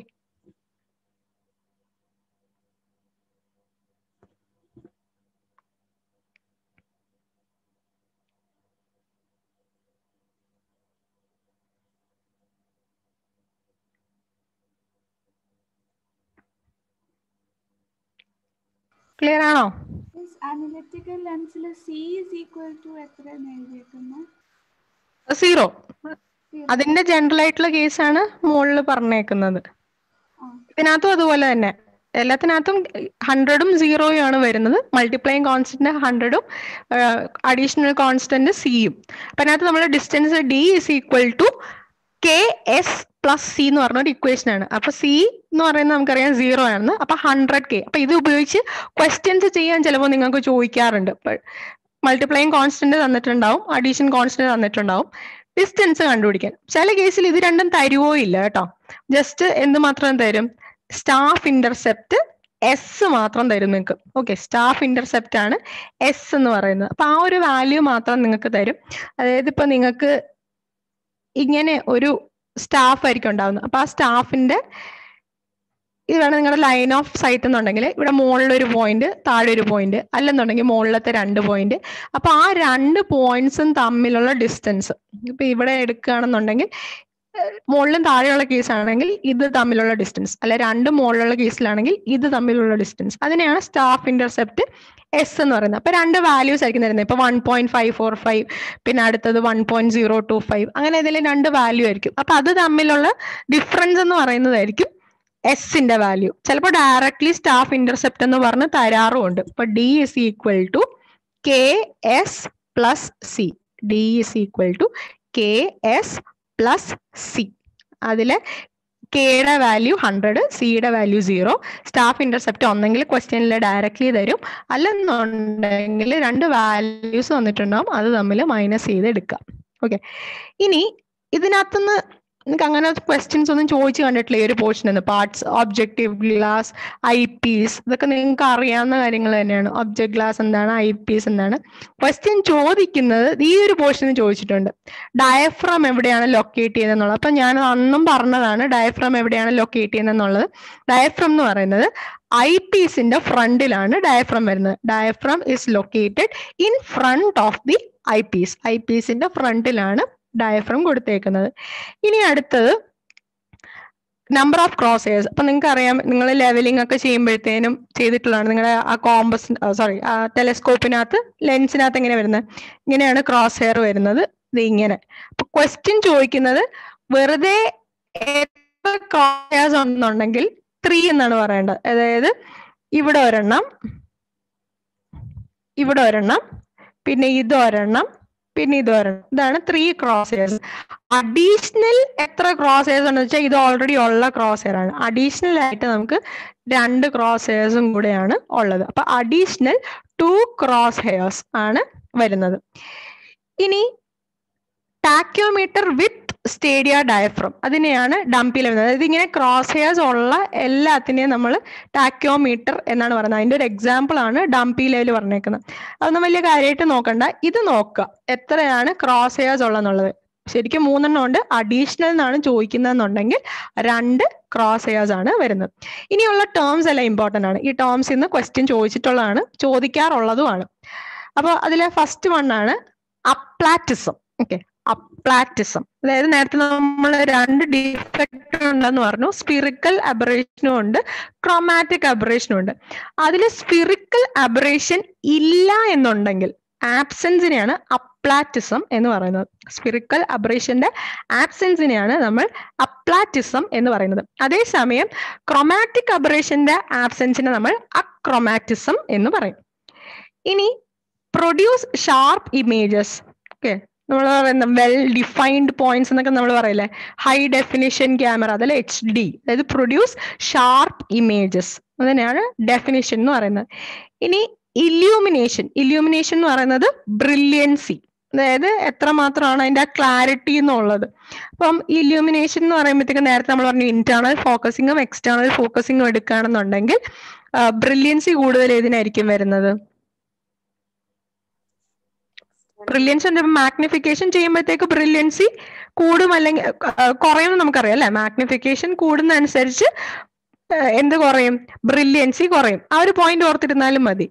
ഇനി അടുത്ത സൈസ് ഫീൽഡ് സൈസ് ഫീൽഡ് എന്ന് പറയുമ്പോഴത്തേക്കും നിങ്ങൾ ആ ടെലസ്കോപ്പിനകത്തൂടെ എന്തുമാത്രം ഏരിയ കാണാൻ പറ്റും? അതാണ് സൈസ് ഫീൽഡ് നമ്മൾ പറയും ഫീൽഡിൽ നിന്ന് മാറി നിൽക്കാൻ പറയും അല്ലേ? നിങ്ങൾ ക്യാമറയൊക്കെ വെച്ച് ഫോട്ടോ എടുക്കുമ്പോഴത്തേനും അവർ പറയില്ലേ ഫീൽഡിൽ നിന്ന് മാറി നിൽക്കാൻ അതായത് അവർ ആ ടെലസ്കോപ്പിൽ കൂടെ കാണുന്ന ഒരു ഫീൽഡിലായിരിക്കും നമ്മൾ നിൽക്കുന്നത് അപ്പോൾ എന്തുമാത്രം ഏരിയ ടെലിസ്കോപ്പിൽ കൂടെ കാണാമോ അതിനെയാണ് സൈസ് ഫീൽഡ് എന്ന് പറയുന്നത്. ഇനി മാഗ്നിഫിക്കേഷൻ മാഗ്നിഫിക്കേഷൻ എന്ന് പറയുന്നത് it is the focal length of object glass divided by focal length of eyepiece അത് നിങ്ങൾക്ക് ഓൾറെഡി നിങ്ങൾ പണ്ട് പഠിച്ചിട്ടുള്ളതാണ്.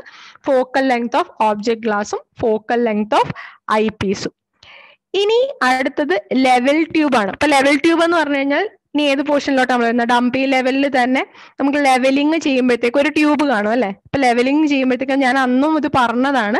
ഒരു ട്യൂബ് പോലെ കാണും. അതിന്റെ നടുക്കായിട്ട് നമുക്ക് ഓവൽ ഷേപ്പിൽ ഓവൽ ഷേപ്പിൽ ഇങ്ങനെ ഒരു വട്ടം കാണും. അതിനകത്ത് എന്തായിരിക്കും ഫില്ല് ചെയ്തേക്കുന്നത്? ചോദിച്ചിട്ടുള്ള ക്വസ്റ്റ്യൻ ആണ്. സ്പിരിറ്റ് ആയിരിക്കും അല്ലെങ്കിൽ ആൽക്കഹോൾ ഇതിൽ രണ്ടിലെ ഏത് ഓപ്ഷൻ വേണമെങ്കിലും കാണും. സ്പിരിറ്റ് അല്ലെങ്കിൽ ആൽക്കഹോൾ ആയിരിക്കും ഇതിനുള്ളിൽ ഫില്ല് ചെയ്യുന്നത്. ഇനി അതിന്റെ കർവേച്ചർ ചോദിക്കാറുണ്ട്. ഓക്കെ അതിന്റെ റേഡിയസ് എന്ന് പറയുന്നത് it is ten metre to three hundred metre level ട്യൂബിന്റെ radius എന്ന് പറയുന്നത് ten metre to three hundred metre ആയിരിക്കും വരുന്നത്. ഇനി അടുത്തൊരു പോർഷൻ ആണ് സെൻസിറ്റിവിറ്റി സെൻസിറ്റിവിറ്റിയുടെ അകത്തുനിന്ന് ക്വസ്റ്റ്യൻ ചോദിക്കുന്നത് എങ്ങനെയാന്ന് വെച്ച് കഴിഞ്ഞാൽ ഇതിന്റെ പ്രപ്പോർഷണാലിറ്റി വെച്ചാണ് ചോദിക്കുന്നത്. അതായത് സെൻസിറ്റിവിറ്റി എന്തിനെയൊക്കെ ഡിപ്പെൻഡ് ചെയ്യും? അല്ലെങ്കിൽ റേഡിയസ് കൂടുമ്പോഴത്തേക്ക് സെൻസിറ്റിവിറ്റിക്ക് എന്ത് പറ്റും? ടെമ്പറേച്ചർ കൂടുമ്പോഴത്തേക്ക് സെൻസിറ്റിവിറ്റിക്ക് എങ്ങനെ എന്താണ് സംഭവിക്കുന്നത് അങ്ങനെയുള്ള കുറെ ക്വസ്റ്റ്യൻസ് ആണ് ഈ സെൻസിറ്റിവിറ്റി അല്ലെങ്കിൽ സെൻസിറ്റീവ്നെസ് ഈ ഒരു പോർഷനിൽ ചോദിക്കുക അപ്പൊ കൂടുതലും അതിന് അത് ഡിപ്പെൻഡ് ചെയ്യുന്നതെന്ന് വെച്ചാൽ റേഡിയസിനെയാണ് ഡിപ്പെൻഡ് ചെയ്യുന്നത്. Sensitivity mainly depends on radius അതായത് റേഡിയസ് കൂടുമ്പോഴത്തേനും സെൻസിറ്റിവിറ്റി കൂടും. ഓക്കെ സെൻസിറ്റിവിറ്റി എന്ന് പറഞ്ഞാൽ എന്താ? ഒരു ചെറിയ ആംഗുലാർ മൂവ്മെന്റ്സ് അതായത് ചെറുതായിട്ടുള്ള എന്തെങ്കിലും വേരിയേഷൻ ഉണ്ടെങ്കിൽ വരെ പെട്ടെന്ന് തന്നെ കാണിക്കും. നമ്മൾ പറയാം വളരെ സെൻസിറ്റീവ് ആണെന്ന് പറയാം അല്ലെ? അതേപോലെ ചെറിയ എന്തെങ്കിലും മൂവ്മെന്റ് ഉണ്ടെങ്കിൽ തന്നെ കാണിക്കുന്നതിനെയാണ് സെൻസിറ്റിവിറ്റി എന്ന് പറയുന്നത്. ഇപ്പൊ റേഡിയസ് ഓഫ് കർവേച്ചർ കൂടുന്നതനുസരിച്ച് സെൻസിറ്റിവിറ്റി കൂടും. അതേസമയം ടെമ്പറേച്ചർ കൂടുന്നതനുസരിച്ച് സെൻസിറ്റിവിറ്റി കുറയുകയാണ് ചെയ്യുന്നത്. റേഡിയസുമായിട്ട് ഡയറക്ട്ലി പ്രപ്പോർഷണൽ ടെമ്പറേച്ചറുമായിട്ട് ഇൻവേഴ്സ്ലി പ്രപ്പോർഷണൽ അപ്പൊ നമ്മൾ രണ്ട് രീതിയിൽ സെൻസിറ്റിവിറ്റിനെ ഡെസിഗ്നേറ്റ് ചെയ്യാറുണ്ട്. ഒന്ന് റേഡിയസിന്റെ ടേംസിൽ ഞാൻ നേരത്തെ പറഞ്ഞു ten metre to three hundred metre ആണ് റേഡിയസ് വരുന്നത്. പിന്നെ നമ്മൾ ആംഗിളിന്റെ ടേംസിലും സെൻസിറ്റിവിറ്റി പറയാറുണ്ട്. ഇത്രയും ഡിഗ്രി അല്ലെങ്കിൽ ഇത്രയും സെക്കൻഡ്സ് ആണ് അതിന്റെ സെൻസിറ്റിവിറ്റി അങ്ങനെയും പറയാറുണ്ട്. അപ്പൊ അതിന്റെ ഒരു ഡിവിഷൻ എന്ന് പറഞ്ഞു കഴിഞ്ഞാൽ എത്ര എം എം ആണെന്ന് ചോദിക്കാറുണ്ട്. ഒരു ഡിവിഷൻ എന്ന് പറയുന്ന ലെവൽ ട്യൂബിന്റെ ഒരു ഡിവിഷൻ എന്ന് പറയുന്നത് വൺ മില്ലിമീറ്റർ ആണ്. ഇപ്പൊ ലീസ് കൗണ്ട് ഒക്കെ പറയില്ലേ? അതേപോലെ ഒരു ഡിവിഷൻ എന്ന് പറയുന്നത് ടു മില്ലിമീറ്റർ ആണ്. അപ്പൊ അല്ലാതെ നമ്മൾ എവിടെ തൊട്ട് എവിടം വരെ വേരി ചെയ്യുന്നു എന്ന് ചോദിച്ചു കഴിഞ്ഞാൽ it is from eight seconds to forty five seconds eight second തൊട്ട് ഫോർട്ടി ഫൈവ് സെക്കൻഡ് വരെ. അപ്പൊ ഇത്രയാണ് കോമ്പസിന്റെയും അതുപോലെ തന്നെ സോറി തിയോഡലൈറ്റിന്റെയും ചെയിനിന്റെ ഒക്കെയുള്ള ബാക്കി അല്ലറ ചില്ലറായിട്ടുണ്ടായിരുന്ന കുറെ കാര്യങ്ങൾ അപ്പൊ എന്തൊക്കെ നമ്മൾ പഠിച്ചു? ചെയിനിനകത്ത് നമ്മൾ ബേസ് ലൈൻ എന്താണെന്ന് പഠിച്ചു ടൈ ലൈൻ എന്താന്ന് പഠിച്ചു ചെക്ക് ലൈൻ എന്താന്നുള്ളത് പഠിച്ചു. അതേപോലെ തന്നെ സ്റ്റേഷൻസ് അപ്പം നമുക്ക് മെയിൻ സ്റ്റേഷൻ ഉണ്ട്. ജസ്റ്റ് ഒന്ന് റിവൈസ് ചെയ്യാണ്. മെയിൻ സ്റ്റേഷൻ ഉണ്ട് ടൈ സ്റ്റേഷൻ ഉണ്ട്. മെയിൻ സ്റ്റേഷൻ എന്ന് പറഞ്ഞു കഴിഞ്ഞാൽ ഏറ്റവും എക്സ്ട്രീംസിൽ വരുന്ന ഓക്കെ സ്റ്റാർട്ടിങ്ങിലും എൻഡിങ്ങിലും വരുന്ന രണ്ട് സ്റ്റേഷൻസിനെയാണ് മെയിൻ സ്റ്റേഷൻ എന്ന് പറയുന്നത് അതിന്റെ ഇടയ്ക്കുള്ള ബാക്കി സ്റ്റേഷൻസിനെയാണ് നമ്മൾ സ്റ്റേഷൻ അല്ലെങ്കിൽ സബ്സിഡിയറി സ്റ്റേഷൻസ് എന്ന് പറയുന്നത്. അതിന്റെ മെയിൻ പർപ്പസ് എന്താന്ന് പറഞ്ഞു കഴിഞ്ഞാൽ ഇന്റീരിയർ ആയിട്ടുള്ള ഡീറ്റെയിൽസ് ഒക്കെ ലൊക്കേറ്റ് ചെയ്യാൻ വേണ്ടിയിട്ടാണ് നമ്മൾ ടൈ സ്റ്റേഷൻസ് യൂസ് ചെയ്യുന്നത്. അതേപോലെ നമുക്ക് സർവേ ലൈൻസ് ഉണ്ട്. അതിൽ ഏറ്റവും ലോങ്സ്റ്റ് ലൈൻ ആണ് ബേസ് ലൈൻ എന്ന് പറയുന്നത്. അപ്പൊ ബേസ് ലൈൻ കഴിഞ്ഞാൽ പിന്നെ നമുക്ക് വരുന്നത് ടൈ ലൈൻ ആണ്. നേരത്തെ പറഞ്ഞ പോലെ ഇന്റീരിയർ ഡീറ്റെയിൽസ് ലൊക്കേറ്റ് ചെയ്യാൻ വേണ്ടിയിട്ടാണ്. എന്തെങ്കിലും ലോങ് ആയിട്ടുള്ള ഓഫ്സെറ്റ്സിനെയൊക്കെ അവോയ്ഡ് ചെയ്യാൻ വേണ്ടി. അതാണ് main purpose to avoid long offsets എന്തിന്റെ ടൈ ലൈനിന്റെ പിന്നെ നമുക്ക് ഏറ്റവും ലാസ്റ്റ് ഉള്ളതാണ് ലൈൻ അല്ലെങ്കിൽ പ്രൂഫ് ലൈൻ അത് യൂസ് ചെയ്യുന്നത് വെച്ചാൽ ചെക്ക് ചെയ്യാൻ വേണ്ടിയിട്ട്. നമ്മൾ ചെയ്തതിൽ എന്തെങ്കിലും എറർ ഉണ്ടോ എന്നൊക്കെ ചെക്ക് ചെയ്യാൻ വേണ്ടിയിട്ടാണ് ചെക്ക് ലൈൻ യൂസ് ചെയ്യുന്നത്. അപ്പൊ ആ ഒരു പോർഷൻ കഴിഞ്ഞു. പിന്നെ നമ്മൾ നോക്കിയെന്ന് പറഞ്ഞു കഴിഞ്ഞാൽ അതിന്റെ സൈസ് ഒക്കെ നോക്കിയായിരുന്നു. ട്വന്റി ബൈ ട്വൽവ് സെന്റിമീറ്റർ ആണ് ഫീൽഡ് ബുക്കിന്റെ സൈസ് വരുന്നത്. പിന്നെ നമ്മൾ നോക്കിയെന്ന് പറഞ്ഞു കഴിഞ്ഞാൽ കുറെ obstructions chaining free vision obstructed vision free chain obstructed അങ്ങനത്തെ പിന്നെ നമ്മൾ നോക്കിയത് ഇപ്പൊ പറഞ്ഞ ലെൻസിന്റെ കേസ് അതിനകത്ത് കോൺസ്റ്റൻസിന്റെ വാല്യൂ അതാണ് ഏറ്റവും ഇമ്പോർട്ടന്റ് ആയിട്ടുള്ള കേട്ടോ. കോൺസ്റ്റൻസിന്റെ വാല്യൂ നോക്കി. പിന്നെ ഇപ്പോൾ സെൻസിറ്റിവിറ്റി നോക്കി. ഓക്കെ ഇപ്പൊ ഇത്രയും കാര്യങ്ങളാണ് ഇതുവരെ നോക്കിയത്. ഇനി നമ്മൾ കോൺടൂർ എന്ന് പറയുന്ന പോർഷനിലാണ് പോർഷനിലോട്ടാണ് പോകുന്നത്. കോൺടൂർ എന്ന് ഈ പറഞ്ഞ പോലെ കുറെ ക്വസ്റ്റ്യൻസ് ചോദിച്ചിട്ടുള്ള ഒരു പോർഷനാണ് കോൺടൂർ. കോൺടൂർ നിങ്ങൾക്ക് മെയിൻ ആയിട്ട് ചോദിക്കുന്ന കാര്യങ്ങൾ എന്ന് പറഞ്ഞു കഴിഞ്ഞാൽ കോൺടൂർ എന്താന്നുള്ളത്. കോൺടൂർ എന്താന്നുള്ളത് അങ്ങനെ ചോദിച്ചു കണ്ടിട്ടില്ല. അത് അതാണ് നിങ്ങൾ മനസ്സിലാക്കണം ആദ്യം കോൺടൂർ എന്ന് പറഞ്ഞു കഴിഞ്ഞാൽ ഒരേ ലെവലിൽ വരുന്ന പോയിന്റ്സിനെ എല്ലാം കൂടെ അതായത് ഒരേ എലിവേഷൻ ഉള്ള പോയിന്റ്സിനെ എല്ലാം കൂടെ കണക്ട് ചെയ്ത് നമ്മൾ വരയ്ക്കുന്ന ഒരു ലൈനെയാണ് കോൺടൂർ എന്ന് പറയുന്നത്. ഒരേ എലിവേഷൻ ഉള്ള പോയിന്റ്സ് അതായത് ഇപ്പോൾ ഒരു പോയിന്റിന്റെ ഹൈറ്റ് എന്ന് പറയുന്നത് ഒരു ഹൺഡ്രഡ് പോയിന്റ് വൺ മീറ്റർ ആണെന്ന് ഓർത്തു. അപ്പൊ ആ ഒരു ഗ്രൗണ്ടിൽ hundred point one metre height വരുന്ന ബാക്കി പോയിന്റ്സ് ഒക്കെ ഏതൊക്കെയാണ്? ആ പോയിന്റ്സിനെ എല്ലാം കൂടെ ഞാൻ കണക്ട് ചെയ്ത് വരയ്ക്കുന്ന ഒരു ലൈൻ കോൺടൂർ എന്ന് പറയുന്നത്. ഇനി കോണ്ടൂർ ഇന്റർവെൽ എന്താണ്? ഹൊറിസോണ്ടൽ ഇക്വലന്റ് എന്താണ് അപ്പൊ ഈ രണ്ട് ടേംസ് ആണ് ഈ ഒരു പോർഷനിൽ നിന്ന് ആദ്യത്തെ പോർഷനിൽ നിന്ന് ചോദിക്കുന്നത്. അപ്പൊ കോണ്ടൂർ ഇന്റർവെൽ എന്ന് പറഞ്ഞു കഴിഞ്ഞാൽ it is a vertical distance between two adjacent contour lines അതായത് ഇപ്പൊ നമുക്കൊരു ഹൺഡ്രഡ് പോയിന്റ് വണ്ണിന്റെ ഒരു കോണ്ടൂർ ലൈൻ ഉണ്ട്.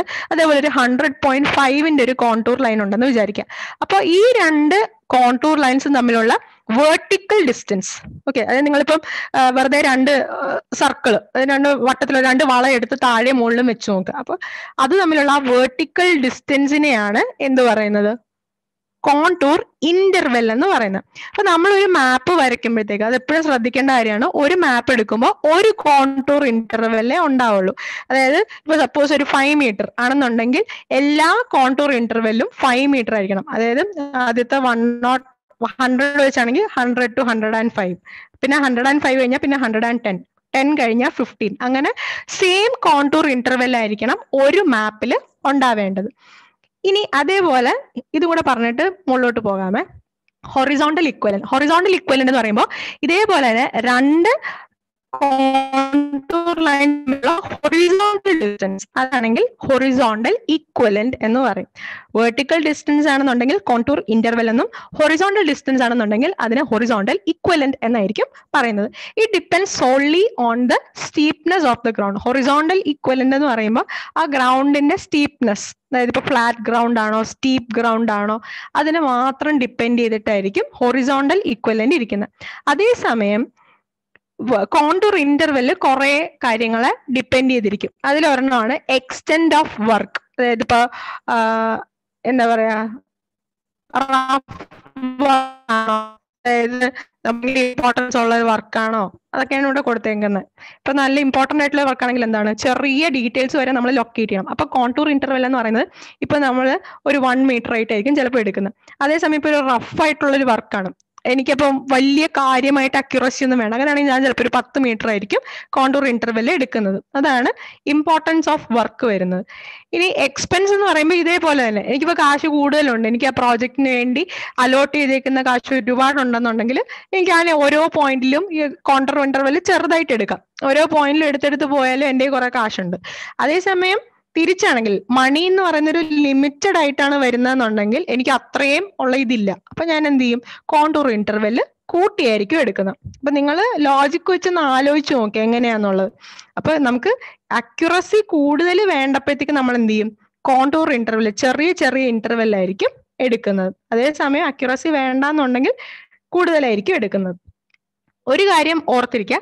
Scale is inversely proportional to contour interval മാപ്പിന്റെ scale എന്ന് പറയുന്നത് കോണ്ടൂർ ഇന്റർവെൽ ആയിട്ട് ഇൻവേഴ്സ്ലി പ്രപ്പോർഷണൽ ആയിരിക്കും. ഓർത്തിരിക്കുക കേട്ടോ ഇൻവേഴ്സ്ലി പ്രപ്പോർഷണൽ ആയിരിക്കും. പിന്നെ ഇതിനകത്ത് ക്വസ്റ്റ്യൻ ചോദിക്കാറുണ്ട് ഇത് നിങ്ങൾ കാണാതെ പഠിക്കേണ്ടതാണ്. For small scale maps small scale map ആണെങ്കിൽ ഫൈവ് ടെൻ ട്വന്റി ഫൈവ് ഇതിൽ ഏത് കോണ്ടൂർ ഇന്റർവെൽ വേണമെങ്കിലും എടുക്കാം. ലാർജ് സ്കെയിൽ ആണെങ്കിൽ പോയിന്റ് ഫൈവ് ലൊക്കേഷൻ സർവേക്ക് ആണെങ്കിൽ two metre building സൈറ്റിനാണെങ്കിൽ point five reservoirs and town planning ആണെങ്കിൽ point five to one metre detailed വർക്കിനാണെങ്കിൽ point five metre ഇത് നിങ്ങൾ കാണാതെ പഠിക്കേണ്ടതാണ്. പിന്നെ അത് നിങ്ങൾക്ക് കണ്ടറിയാം ഓൾമോസ്റ്റ് എല്ലാം തന്നെ പോയിന്റ് ഫൈവ് ആണ്. ആകെ ഒരു വ്യത്യാസം വെച്ചാൽ ഫസ്റ്റ് കേസ് ഇപ്പൊ ലാർജ് സ്കെയിൽ ഒരു മാപ്പാണ് വരയ്ക്കുന്നതെന്നുണ്ടെങ്കിൽ അതിനകത്ത് ഫൈവ് ടെൻ ട്വന്റി ഫൈവ് മാപ്പിന് നമുക്കിങ്ങനെ ചെറിയ ഇന്റർവെൽ എടുത്തിട്ട് കാര്യമില്ല. അപ്പൊ അതുകൊണ്ട് അതിനങ്ങനെ എടുക്കാം. ബാക്കി ലൊക്കേഷൻ സർവേക്ക് ടു മീറ്ററും ബാക്കി എല്ലാം ഒരു പോയിന്റ് ഫൈവ് എന്നുള്ള രീതിയിൽ പഠിച്ചാൽ മതി. ഓക്കെ അപ്പൊ അതാകുമ്പോഴത്തേക്ക് നിങ്ങൾക്ക് അധികം കൺഫ്യൂഷൻ ആവത്തില്ല. റഫ് കൺട്രിയുടെ ആണെങ്കിൽ ഫൈവ് ടെൻ ട്വന്റി ഫൈവ് എടുക്കുക. ലൊക്കേഷൻ സർവേ ആണെങ്കിൽ ടു മീറ്റർ എടുക്കുക.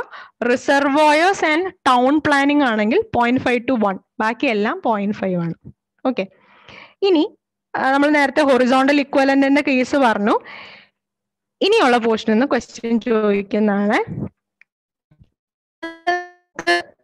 കാര്യമാണ് നിങ്ങളൊന്ന് ആലോചിച്ച് നോക്കിക്കഴിഞ്ഞാൽ കിട്ടും. അപ്പൊ കോണ്ടൂറിന്റെ ഫിഗർ എങ്ങനെയാണ് വരുന്നതെന്നുള്ളതാണ് കാണിച്ചേക്കുന്നത്. അപ്പൊ ഇങ്ങനെ നിങ്ങൾക്ക് ഒരു കോണ്ടൂർ ആയിട്ട് തരികയാണെങ്കിൽ അതൊരു ഹില്ലാണോ അല്ലെങ്കിൽ ഒരു വാലി ആണോ ഡിപ്രഷൻ ആണോ അങ്ങനെയുള്ളതൊക്കെ നിങ്ങൾ ഐഡന്റിഫൈ ചെയ്യണം. അപ്പൊ അതിനകത്ത് വാല്യൂസ് ആയിട്ട് തരില്ല. ജസ്റ്റ് പറയുള്ളൂ. അതായത് കുറെ ക്ലോസ്ഡ് കോണ്ടൂർസ് ആണ്. Series of closed contour lines having higher values inside okay higher values inside എന്ന് പറയുമ്പോൾ എന്താണ്? എങ്ങനെയായിരിക്കും വരുന്നത്? കുറെ closed contour lines higher value higher value inside എന്ന് പറയുമ്പോൾ എന്ത് വരും? ഹില്ല് വരും. അതേസമയം ഹയർ വാല്യൂ എന്ന് പറയുന്നത് ഔട്ട്സൈഡ് ആണെങ്കിൽ എന്ത് വരും? ഒരു ഡിപ്രഷൻ പോലെ ആയിരിക്കും വരുന്നത്. അപ്പൊ ഇങ്ങനെ ഓർത്തിരുന്നാൽ ഇതാണ് നിങ്ങൾക്ക് ഓർക്കാനായിട്ട് എളുപ്പം. ഹയർ വാല്യൂ ഇൻസൈഡ് ആണെങ്കിൽ ഇങ്ങനെ ഒരു മല പോലെ വരും. ഇനി ഹയർ വാല്യൂ ഔട്ട്സൈഡ് ആണെന്നുണ്ടെങ്കിൽ തിരിച്ച് ഒരു ഡിപ്രഷൻ ഇപ്പൊ ഡിപ്രഷൻ എന്ന് പറയുമ്പോൾ നമുക്ക് ഒരു കുഴി പോലെ ഇരിക്കുന്ന എന്തു ആവും. അതാണ് പോണ്ട് എഴുതിയേക്കുന്ന അവിടെ. ഓക്കെ അതേസമയം ഹില്ലിന് നമ്മൾ സമ്മിറ്റ് എന്നും പറയും. അല്ലെ? സമ്മിറ്റ് പോയിന്റ് നിങ്ങൾ ട്രാൻസ്പോർട്ടേഷൻ പഠിച്ചപ്പോൾ പറഞ്ഞായിരിക്കും. സമ്മിറ്റും വാലി ഒക്കെ നിങ്ങൾ പഠിച്ചായിരുന്നു അല്ലെ? അപ്പൊ സമ്മിറ്റ് പോയിന്റ് ഉണ്ട് വാലി പോയിന്റ് ഉണ്ട്. അപ്പൊ അത് അതനുസരിച്ച് നോക്കാം. പിന്നെ ചോദിക്കുന്നതാണ് കോസ്റ്റ്ലി പാക്ഡ് കോസ്റ്റ്ലി പാക്ഡ് എന്ന് പറഞ്ഞാൽ എന്താ? ഭയങ്കര അടുത്തടുത്ത ഇന്റർവെൽ ആണ് കൊടുത്തേക്കുന്നത്. അപ്പോഴാണ് നമ്മൾ അടുത്തടുത്ത ഇന്റർവെൽ കൊടുക്കുന്നത്. ഭയങ്കര സ്റ്റീപ്പ് ഗ്രൗണ്ട് ആകുമ്പോൾ അതായത് ഭയങ്കരമായിട്ട് വേരിയേഷൻ ഉള്ള ഒരു ഗ്രൗണ്ട് ആണ്. അങ്ങനെയാണെങ്കിൽ ഞാൻ എന്ത് കൊടുക്കും? ക്ലോസ്ലി പാക്ഡ് ആണെന്ന് പറയുന്നത് എന്തുകൊണ്ടാണ്? വളരെ ചെറിയ എടുത്തേക്കുന്നത് ഒന്ന് ആലോചിച്ച് നോക്കിയേ. സ്റ്റീപ്പ് ആയിട്ടുള്ള ഗ്രൗണ്ട് ആണ്. അതായത് ഭയങ്കരമായിട്ട് അണ്ടുലേഷൻസ് ഉള്ള ഒരു ഗ്രൗണ്ട് ആണ്. അല്ലെ? കയറി ഇറങ്ങിയൊക്കെ ഇങ്ങനെ ഹൈറ്റ് ഡിഫറൻസ് ഭയങ്കരമായിട്ടുണ്ട്. അതുകൊണ്ടാണ് ഇതിനെ സ്റ്റീപ്പ് ഗ്രൗണ്ട് എന്ന് പറയുന്നത്. അപ്പൊ സ്റ്റീപ്പ് ഗ്രൗണ്ട് ആന്ന് പറയുമ്പോഴത്തേക്ക് എങ്ങനെയാണ്? ഇന്റർവെൽ എന്ന് പറയുന്നത് ചെറിയ ചെറിയ ഇന്റർവെൽ എടുത്താൽ മാത്രമേ എനിക്ക് കറക്റ്റ് ആയിട്ടുള്ള ലെവൽ ഡിഫറൻസ് കിട്ടുള്ളൂ. അപ്പൊ അതുകൊണ്ടാണ് കോൺടൂർ ലൈൻസ് ക്ലോസ്ലി പാക്ഡ് എന്ന് പറയുന്നത്. ഇനി അതേസമയം equally spaced straight contour lines equally spaced ആയിട്ടുള്ള സ്ട്രെയിറ്റ് കോൺടൂർ ലൈൻസ് ആണെന്നുണ്ടെങ്കിൽ it is flat ground equally spaced ആയിട്ടുള്ളതാണെങ്കിൽ flat ground uniformly spaced എന്ന് പറയുമ്പോൾ uniformly sloping ground equally spaced ആണെങ്കിൽ ഫ്ലാറ്റ് ഗ്രൗണ്ട് അതായത് നല്ല ഡിസ്റ്റൻസിൽ നല്ല ഇന്റർവെല്ലിലാണ് എടുക്കുന്നതെന്നുണ്ടെങ്കിൽ അതിനെ ഫ്ലാറ്റ് ഗ്രൗണ്ട് എന്ന് പറയും. അതേസമയം യൂണിഫോംലി സ്പേസ്ഡ് കോൺടൂർ ലൈൻസ് ആണെങ്കിൽ യൂണിഫോംലി സ്ലോപ്പിംഗ് ഗ്രൗണ്ട്. അപ്പൊ ഇതിനകത്തുനിന്ന് ഇത് മൂന്നും ചോദിച്ചു കണ്ടിട്ടുണ്ട്. ഹില്ലിന്റെ കേസ് ചോദിച്ചു കണ്ടിട്ടുണ്ട്. പോണ്ടിന്റെ കേസ് ചോദിച്ചു കണ്ടിട്ടുണ്ട്.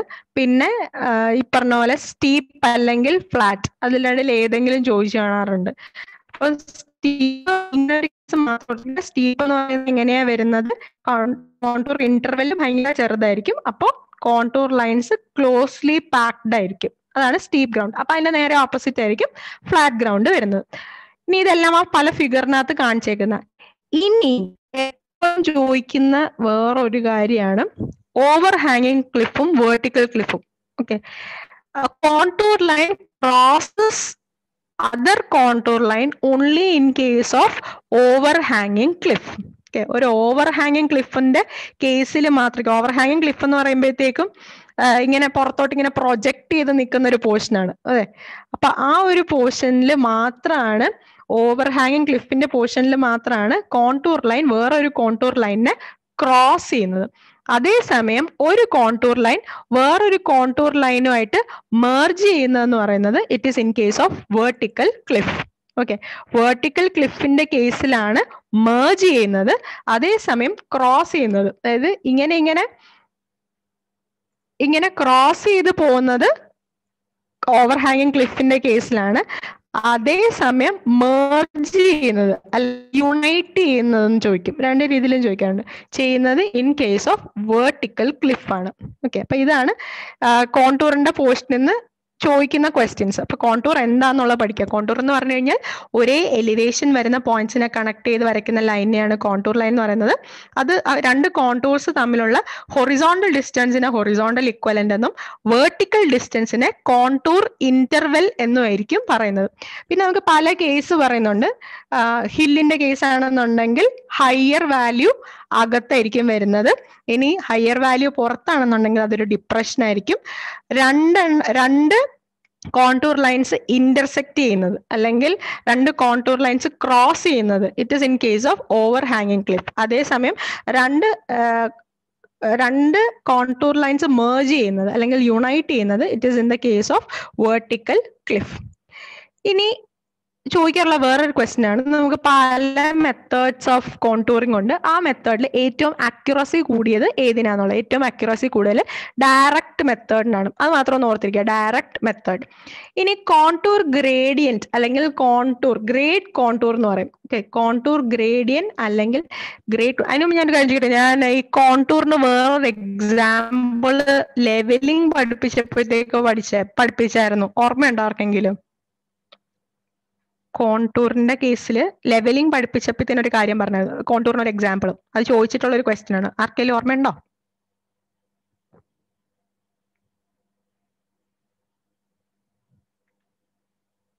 ഓർമ്മയില്ല. ഒരു പോണ്ടിന്റെ കേസ് പറഞ്ഞു ഓർക്കുന്നുണ്ടോ? ഒരു പോണ്ട് എടുക്കുകയാണെങ്കിൽ അതിന്റെ അകത്ത് ഒരു സ്റ്റാറ്റിക് ആയിട്ടുള്ള ഒരു വെള്ളം എടുക്കുകയാണെന്നുണ്ടെങ്കിൽ വാട്ടർ ബോഡി എടുക്കുകയാണെങ്കിൽ അതിന്റെ വെള്ളത്തിന്റെ ലെവൽ എന്ന് പറയുന്നത് ഒരു ലെവൽ സർഫസ് ആയിരിക്കും.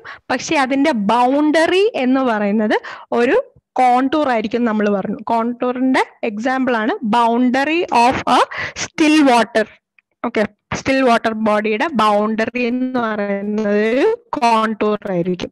ഇനി ഇതിനകത്ത് ചോദിക്കുന്നത് കോണ്ടൂർ മെഷർ ചെയ്യാൻ വേണ്ടി അതായത് കോണ്ടൂർ ഗ്രേഡിയന്റ് ഗ്രേഡിയന്റ് എന്ന് പറഞ്ഞാൽ സ്ലോപ്പ് ആണ്. കോണ്ടൂറിന്റെ സ്ലോപ്പ് മെഷർ ചെയ്യാൻ വേണ്ടി നമ്മൾ യൂസ് ചെയ്യുന്ന ഇൻസ്ട്രുമെന്റ് ആണ്.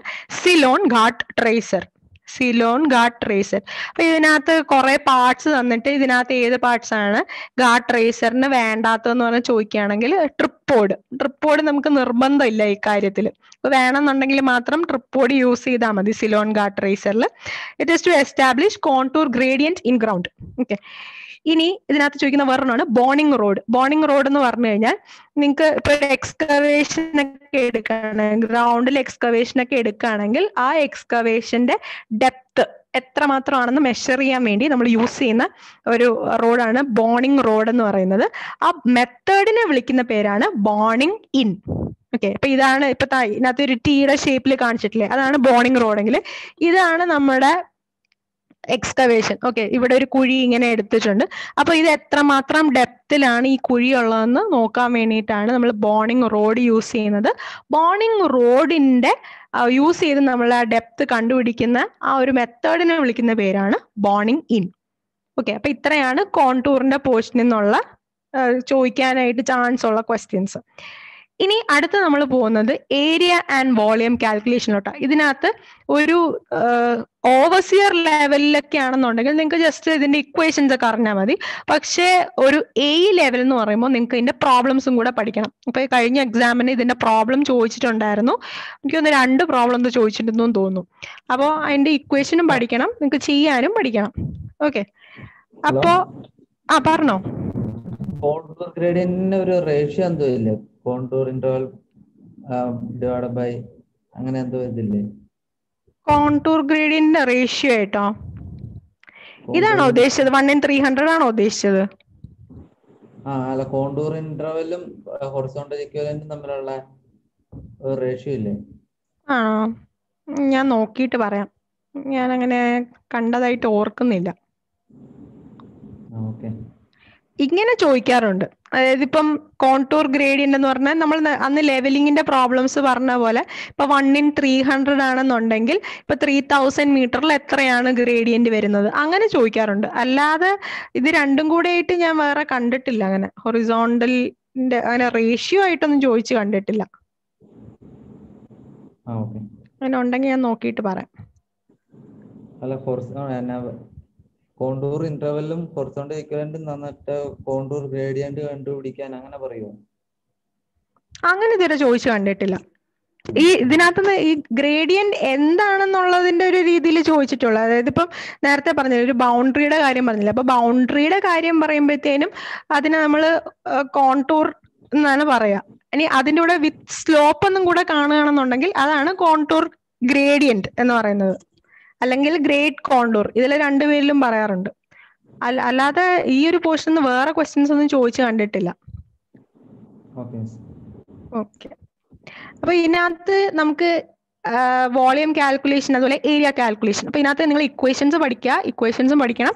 നമുക്ക് രണ്ട് ക്വസ്റ്റ്യൻസും കൂടെ ഇന്ന് ചെയ്യാം. ഓക്കെ അപ്പോൾ ഏരിയ ഫ്രം ഫീൽഡ് നോട്ട് അപ്പൊ നമുക്ക് ഇത്രയും മെത്തേഡ്സ് ആണ് ഉള്ളത്. ഏരിയ കാൽക്കുലേറ്റ് ചെയ്യാൻ വേണ്ടി. Mid ordinate method average ordinate method trapezoid rule Simpson's rule അപ്പൊ ഇതിനകത്ത് ആദ്യത്തെ ഒന്ന് നോക്കിയില്ലെങ്കിലും ജസ്റ്റ് എന്താണെന്ന് അറിഞ്ഞിരിക്കുക. അവസാനത്തെ രണ്ടെണ്ണം ഇമ്പോർട്ടന്റ് ആണ്. ട്രപ്പിസോയിഡൽ റൂളും ഇമ്പോർട്ടന്റ് ആണ്. സിംസൺസ് റൂളും ഇമ്പോർട്ടന്റ് ആണ്. അപ്പൊ first one mid ordinate rule അപ്പൊ മിഡ് ഓർഡിനേറ്റ് റൂളിന് ഈ ഇക്വേഷൻ മാത്രം ജസ്റ്റ് പഠിച്ചാൽ മതി കേട്ടോ. അപ്പൊ L into H one plus H two plus up to H N divided by N അപ്പൊ എൻ എന്ന് പറയുന്നത് ഇതുപോലെ എത്ര എണ്ണമാണ് ഉള്ളത്? ഇപ്പം ഇതാണ് ഒരു ഫുൾ ഏരിയ ഓക്കെ ഈ ഏരിയ ആണ് വേണ്ടത്. അതിന്റെ ഫുൾ ലെങ്ത് എന്ന് പറയുന്നതാണ് എൽ ഇനി ഇതിനെ നമ്മൾ പല പല സെക്ഷൻസ് ആയിട്ട് ഡിവൈഡ് ചെയ്തേക്കാണ്. ഇപ്പൊ ഇതിനകത്ത് ഇതൊരു സെക്ഷൻ ആണ്. ഓക്കെ ഇത് ഇതൊരെണ്ണം. ഇനി ഇതടുത്തത് അപ്പൊ മിഡ് ഓർഡിനേറ്റ് എന്ന് പറഞ്ഞാൽ എന്താ? ഈ ഓരോന്നിന്റെ മിഡ് പോയിന്റ് അതാണ് എച്ച് വൺ എച്ച് ടു അങ്ങനെ മാർക്ക് ചെയ്തേക്കുന്നത് അപ്പൊ L into H one plus H two plus up to H N divided by N N എന്ന് പറഞ്ഞു കഴിഞ്ഞാൽ എത്ര ഡിവിഷൻസ് ഉണ്ടെന്ന്. ഇത് ഒരു ഡിവിഷൻ ഇത് അടുത്ത ഡിവിഷൻ ഇത് അടുത്തത്. അതാണ് മിഡ് ഓർഡിനേറ്റ് റൂൾ എന്ന് പറഞ്ഞാൽ അപ്പൊ ജസ്റ്റ് ഇക്വേഷൻസ് മാത്രം ഓർത്തിരിക്കുക മിഡ് ഓർഡിനേറ്റ് എന്ന് പറഞ്ഞു കഴിഞ്ഞാൽ L into H one plus H two അപ്പൊ അതിനകത്ത് എച്ച് വൺ എച്ച് ടു ഒക്കെ എന്താന്നുള്ളത് അറിഞ്ഞിരിക്കുക അപ്പൊ നിങ്ങൾക്ക് വെറുതെ മെത്തേഡ് ഒന്നും പറയാതെ ഒരിക്കലും ചോദിക്കില്ല. ഇന്ന മെത്തേഡ് വെച്ച് കാൽക്കുലേറ്റ് ചെയ്യാൻ മാത്രമേ ചോദിക്കുള്ളൂ. കാരണം നമുക്ക് ഓരോ മെത്തേഡും ചെയ്യുമ്പോഴത്തേനും ഓരോ ആൻസർ ആയിരിക്കും കിട്ടുന്നത്. ഓക്കെ ഇനി അടുത്തത് വേറൊരു ഇക്വേഷനും കൂടെ ഉണ്ട്. എൽ ബൈ എന്നിന് പകരം ഡി എന്ന് കൊടുക്കുക. ഡി എന്ന് പറഞ്ഞു കഴിഞ്ഞാൽ ഇറ്റ് ഈസ് ദ ഡിസ്റ്റൻസ് ഇപ്പൊ ഓരോ ഇന്റർവെല്ലും ആണ് ഡി എന്ന് പറയുന്നത്. D into H one plus H അപ്പൊ ഇതാണ് സിംപ്ലിഫൈഡ് ആയിട്ടുള്ള ഇക്വേഷൻ ഇത് പഠിക്കുന്നതായിരിക്കും നിങ്ങൾക്ക് കുറച്ചുകൂടെ എളുപ്പം. ഓക്കെ അപ്പൊ D into H one plus H two plus up to H N ഇനി ആവറേജ് ഓർഡിനേറ്റ് മെത്തേഡ് എന്ന് പറയുമ്പോഴത്തേക്കും മറ്റേത് മിഡ് ഓർഡിനേറ്റ് ആയിരുന്നു അല്ലേ? അപ്പൊ ഓരോന്നിന്റെ മിഡിൽ സെക്ഷൻ എടുക്കണമായിരുന്നു. ആവറേജ് ഓർഡിനേറ്റ് മെത്തേഡ് എന്ന് പറയുമ്പോഴത്തേക്ക് ആവറേജ് ഒന്നും ആവറേജ് ഓർഡിനേറ്റ് എന്ന് പേര് മാത്രമേ ഉള്ളൂ. അതിനകത്ത് ആവറേജ് ഒന്നും എടുക്കുകയൊന്നും വേണ്ട. ഡയറക്ട്ലി ഓ വൺ നോട്ട് അതിൽ ഈ O one not O three അതിന് ഓർഡിനേറ്റ്സ് എന്ന് പറയുന്നത്. ഓക്കെ അപ്പൊ L into O one plus O two up to O N divided by N plus one ഇതാണ് ആവറേജ് എൻഡ് ഓർഡിനേറ്റ് റൂൾ ഇനി അടുത്ത രണ്ടെണ്ണമാണ് ഇമ്പോർട്ടന്റ് ആയിട്ടുള്ളത് ട്രപ്പിസോയിഡൽ റൂളും സിംസൺസ് റൂളും ഈ സിംസൺസ് റൂളിന്റെ മറ്റൊരു പേരാണ് പാരാബോളിക് റൂൾ സിംസൺസ് റൂളിന്റെ മറ്റൊരു പേരാണ് പാരാബോളിക് റൂൾ അപ്പൊ ഈ പാരാബോളിക് റൂൾ ക്വസ്റ്റ്യനിൽ നിങ്ങൾ ചോദിച്ചിട്ടുള്ളത് ഈ റീസെന്റ് ആയിട്ട് വന്ന ഒരു എക്സാം കഴിഞ്ഞ വർഷം വന്ന ഒരു എക്സാമിൽ ചോദിച്ചിരുന്ന ക്വസ്റ്റ്യൻ ആണ് സിംസൺസ് റൂളിന്റെ മറ്റൊരു പേര് അല്ലെങ്കിൽ പാരാബോളിക് റൂൾ എന്ന് പറയുന്നത് ഇതിൽ ഏത് റൂൾ ആണെന്നുള്ളത്. ഓക്കെ സിംസൺസ് റൂളിനെയാണ് പാരാബോളിക് റൂൾ എന്ന് പറയുന്നത്. ഇനി ഇക്വേഷൻ പഠിക്കുക ട്രപ്പിസോഡൽ റൂളിന്റെ ഇക്വേഷൻ എന്ന് പറഞ്ഞു കഴിഞ്ഞാൽ D by two okay D by two into O zero plus O N അതായത് ഏറ്റവും ഫസ്റ്റ് റീഡിങ് പ്ലസ് ഏറ്റവും last reading plus two into ബാക്കിയുള്ള അകത്തുള്ള ബാക്കി എല്ലാ റീഡിങ്സും ഇതാണ് equation D by two first plus last reading plus two into ബാക്കി എല്ലാ റീഡിങ്സിന്റെയും കൂടെ സം അതെന്ന് പറയുന്നതാണ് ട്രപ്പിസോയിഡൽ റൂൾ വെച്ച് നിങ്ങൾക്ക് ഏരിയ കാൽക്കുലേറ്റ് ചെയ്യാനുള്ള ഫോർമുല ഇനി അടുത്ത സിംസൺസ് റൂളിന്റെ അപ്പൊ ഇത്രയും നമുക്ക് മെത്തേഡ്സ് ഉള്ളതിൽ ഏറ്റവും അക്യുറേറ്റ് എന്ന് നമ്മൾ പറയുന്ന മെത്തേഡ് സിംസൺസ് റൂൾ ആണ്. ഓക്കെ അതാണ് മോസ്റ്റ് അക്യുറേറ്റ് മെത്തേഡ് ഇതിനകത്ത് ചോദിക്കുന്ന ക്വസ്റ്റ്യൻ ഇതാണ്. സിംസൺസ് റൂൾ യൂസ് ചെയ്യണം എന്നുണ്ടെങ്കിൽ നമുക്കൊരു കണ്ടീഷൻ ഉണ്ട്. നമ്പർ ഓഫ് ഓർഡിനേറ്റ്സ് ഓഡ് ആണെങ്കിൽ മാത്രമാണ് നമുക്ക് സിംസൺസ് റൂൾ അപ്ലൈ ചെയ്യാൻ പറ്റുള്ളൂ. ഓക്കെ അപ്പൊ ഇതിനകത്ത് സപ്പോസ് ഒരു അഞ്ച് ഓർഡിനേറ്റ് ആണെന്നുണ്ടെങ്കിൽ നമുക്ക് സിംസൺസ് റൂൾ യൂസ് ചെയ്യാം. അതേസമയം ആറ് ഓർഡിനേറ്റ്സ് ഉണ്ടെങ്കിൽ എനിക്ക് സിംസൺസ് റൂൾ അപ്ലൈ ചെയ്യാൻ പറ്റില്ല.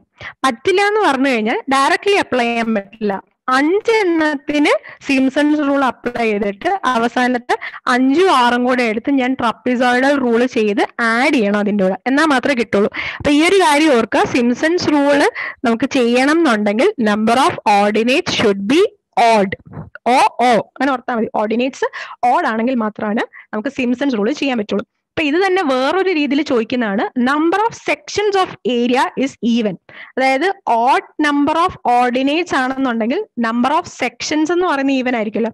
അതായത് ഇത് മൊത്തം ഇപ്പൊ എട്ട് ഒമ്പതെണ്ണമാണ് ഉള്ളതെന്നുണ്ടെങ്കിൽ നമ്പർ ഓഫ് ഏരിയാസ് എന്ന് പറയുന്നത് ആയിരിക്കും അല്ലെ? ഇപ്പൊ ഇതിനകത്ത് എത്ര ഉണ്ട്? One two three four five six six ആണ്. ഇപ്പൊ ഞാൻ വേറെ റഫായിട്ട് വരച്ചേക്കുന്നുണ്ട്. ആക്ച്വലി സെവൻ വരച്ചാലേ എനിക്ക് സിംസൺസ് റൂൾ ചെയ്യാൻ പറ്റുള്ളൂ. അപ്പൊ ഞാൻ ഒരു ഒരെണ്ണം ഒരു അഡീഷണൽ ആയിട്ട് ഒരെണ്ണം കൂടെ വരയ്ക്കുകയാണ് അത് ഓക്കെ അപ്പൊ ഇതിനകത്ത് സെവൻ നമ്പർ ഓഫ് ഓർഡിനേറ്റ്സ് ഉണ്ട്. One two three four five six seven അപ്പൊ സെക്ഷൻസ് എത്ര ഉണ്ട് one two three three four five six okay അപ്പൊ രണ്ട് രീതിയിൽ ചോദിക്കാം. ഒന്ന് നമ്പർ ഓഫ് ഓർഡിനേറ്റ്സ് ഓഡ് ആണെങ്കിൽ അല്ലെങ്കിൽ number of section of areas even ആണെങ്കിൽ. ഇപ്പൊ ഈ രണ്ട് കേസിലാണ് എനിക്ക് സിംസൺസ് റൂൾ അപ്ലൈ ചെയ്യാൻ പറ്റുള്ളൂ. ഓക്കെ ഇനി ഇത്രയാണ് ഏരിയ കാൽക്കുലേഷനിൽ വരുന്നത്.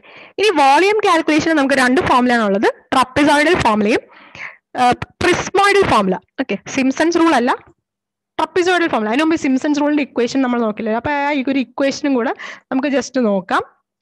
ഇക്വേഷൻ വരുന്നത് നിങ്ങൾ ഈ താഴെ കാണിച്ചേക്കുന്ന റെഡിൽ കാണിച്ചേക്കുന്ന ഇക്വേഷൻ പഠിച്ചാൽ മതി കേട്ടോ. മറ്റേത് മുകളിലത്തത് നിങ്ങൾക്ക് കുറച്ച് കൺഫ്യൂഷൻ ആവാൻ ചാൻസ് ഉണ്ട്. സോ ഇതിനകത്ത് D by three into okay D by three into first reading plus last reading D by three into first reading plus last reading plus four into even readings എല്ലാം. അതായത് two four six eight അതായത് O two O four O six O eight അങ്ങനെ. Plus two into odd numbers odd എന്ന് പറയുമ്പോഴത്തേനും one കൂട്ടരുത്. കാരണം നമ്മൾ one already ഇവിടെ എടുത്തിട്ടുണ്ട്. അപ്പൊ അതുകൊണ്ട് വൺ കൂട്ടാൻ പാടില്ല. ബാക്കി ത്രീ ഫൈവ് സെവൻ നയൻ അങ്ങനെയുള്ള ഓർഡർ അപ്പം നിങ്ങൾ എടുത്ത ടേം പിന്നെയും യൂസ് ചെയ്യരുത്. അത് മാത്രം ഒന്ന് ശ്രദ്ധിക്കുക എടുത്ത ടേം പിന്നെയും യൂസ് ചെയ്യാൻ പാടില്ല. ഇപ്പൊ ഓ വൺ എടുത്തിട്ടുണ്ടെങ്കിൽ പിന്നെ ഈ ഓഡിന്റെയോ ഈവന്റെയോ കൂടെ ഓ വൺ ഓ ഈ ഓഡിന്റെ കൂടെ ഓ വൺ എടുക്കരുത്. ഓക്കെ അതേപോലെ ഇപ്പൊ ഇത് സപ്പോസ് ഓ എയ്റ്റ് ആണെന്നുണ്ടെങ്കിൽ ആ എയ്റ്റ് ഓൾറെഡി ഇവിടെ എടുത്തേക്കുന്നതുകൊണ്ട് ഈവന്റെ കൂടെ പിന്നെ ആ എയ്റ്റ് ഉപയോഗിക്കരുത്. അപ്പൊ നിങ്ങൾ പ്രോബ്ലംസ് ഒക്കെ ചെയ്യുമ്പോഴത്തേനും ഓൾറെഡി എടുത്ത നമ്പർ ടിക്ക് ചെയ്ത് പോവാ. അതായത് പിന്നെയും നമ്മൾ അത് യൂസ് ചെയ്യുന്നില്ല എന്നുള്ള രീതിയിൽ അപ്പൊ ഇത് മാത്രം ഓർത്ത രണ്ടെണ്ണത്തിന്റെയും ഇക്വേഷൻസ് ഇപ്പൊ D by three into first reading plus last reading plus four into even അതാണ് നിങ്ങൾക്ക് കൺഫ്യൂഷൻ ആവുന്ന എക്സാമിനൊക്കെ ചെയ്യുമ്പോഴത്തേക്ക് അവിടെയാണ് നിങ്ങൾക്ക് തെറ്റുന്നത്. ഫോർ ഇന്റു ആണോ ഈവൻ ആണോ എന്നുള്ളത് നിങ്ങൾ മറന്നു പോകും. അപ്പൊ ഫോർ ഇന്റു ഈവൻ അപ്പൊ നിങ്ങൾ ഇങ്ങനെ ഓർത്താൽ മതി. ടു ഇന്റു ടു ആണല്ലോ ഈവൻ എന്ന് പറയുന്നത്. അപ്പൊ ഫോർ അപ്പൊ four into even plus two into odd അങ്ങനെ ഓർത്താൽ മതി. ഇപ്പൊ ഈ ഇത് വെച്ചിട്ട് ഈ പ്രോബ്ലം വെച്ച് ഈ ഫോർമുല വെച്ചിട്ട് ചെയ്യേണ്ട പ്രോബ്ലംസ് വരും. അപ്പൊ ഇതാണ് ഏരിയ കാൽക്കുലേഷൻ വരുന്നത് ഇനി സെയിം തന്നെ വോളിയം കാൽക്കുലേഷൻ വരുമ്പം വ്യത്യാസമൊന്നുമില്ല. ഈ ഒ സീറോ ഒ എൻ എന്നൊക്കെ പറയില്ലേ? അവിടെ വരുന്നിടത്ത് A zero A N A one A two area ആയിരിക്കും വരുന്നത്. ബാക്കി ഇക്വേഷൻ സെയിം തന്നെ. ഓക്കെ ഓർഡിനേറ്റ്സ് വരുന്നിടത്ത് ഏരിയ ആയിരിക്കും. അപ്പൊ ഏരിയ ഇന്റു ഡിസ്റ്റൻസ് ചെയ്യുമ്പോഴാണ് വോളിയം കിട്ടുന്നത്. അപ്പൊ ഇവിടെ ഡിസ്റ്റൻസ് ഇന്റു ഡിസ്റ്റൻസ് ചെയ്യുമ്പോൾ മീറ്റർ സ്ക്വയർ ഏരിയ കിട്ടും. അതേപോലെ വോളിയം ആണെങ്കിൽ ഡി സ്ക്വയർ ഇന്റു ഡി ചെയ്യണം. അപ്പോഴല്ലേ ഡി ക്യൂബ് കിട്ടുള്ളൂ. അപ്പോ ഏരിയ ആയിരിക്കും ഇവിടെ വരുന്നത്. ഓക്കെ ഇനി സിംസൺസ് റൂൾ എന്നായിരിക്കില്ല വോളിയം കാൽക്കുലേറ്റ് ചെയ്യുമ്പോൾ പറയുന്നത്. അതിന് പറയുന്ന പേര് പ്രിസ്മോയിഡൽ റൂൾ എന്നാണ്. ഓക്കെ പ്രിസ്മോയിഡൽ റൂൾ എന്നാണ് വോളിയം കാൽക്കുലേഷന്റെ സമയത്ത് നമ്മൾ സിംസൺസ് റൂളിനെ പറയുന്നത്. അപ്പൊ അവിടെ വരുമ്പോഴത്തേക്ക് എങ്ങനെ വരും? വോളിയം കാൽക്കുലേഷൻ ആണെങ്കിൽ നമ്പർ ഓഫ് ഓർഡിനേറ്റ്സ് അല്ല നമ്പർ ഓഫ് ഏരിയ എന്ന് പറയുന്നതായിരിക്കും ഓഡ് വരുന്നത്. അപ്പൊ നിങ്ങൾക്ക് കൺഫ്യൂഷൻ ആവരുത്.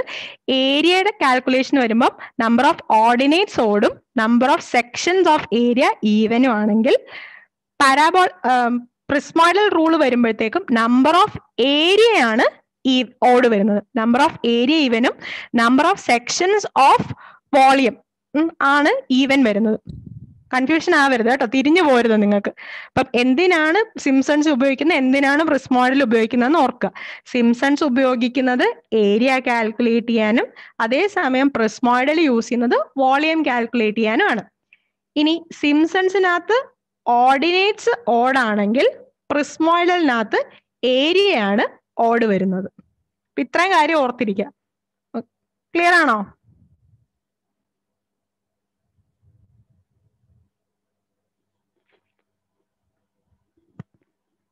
മനസ്സിലാവാത്തവരാരെങ്കിലും ഉണ്ടോ? നമുക്ക് രണ്ട് പ്രോബ്ലം ചെയ്യാൻ വേണ്ടിയിട്ടായിരുന്നു. ഇതാണ് ഫോർമുല വരുന്നത്. Trapezoidal ഫോർമുലയുടെ D by two into A zero plus A N plus two into ഇത്രയും.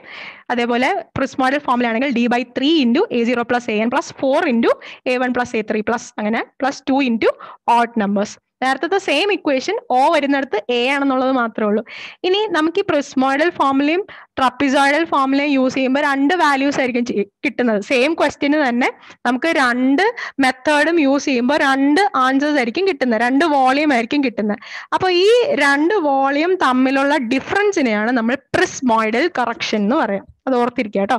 പ്രിസ്മോയിഡൽ കറക്ഷൻ എന്ന് പറഞ്ഞു കഴിഞ്ഞാൽ ട്രപ്പിസോയിഡൽ ഫോമുല വെച്ച് ചെയ്യുമ്പോഴും പ്രിസ്മോയിഡൽ ഫോമുല വെച്ച് ചെയ്യുമ്പോഴും എനിക്ക് രണ്ട് വാല്യൂ ആയിരിക്കും വോളിയത്തിന് കിട്ടുന്നത്. അപ്പൊ ആ രണ്ട് വാല്യൂവും തമ്മിലുള്ള ഡിഫറൻസിനെയാണ് ഞാൻ പ്രിസ്മോയിഡൽ കറക്ഷൻ എന്ന് പറയുന്നത്.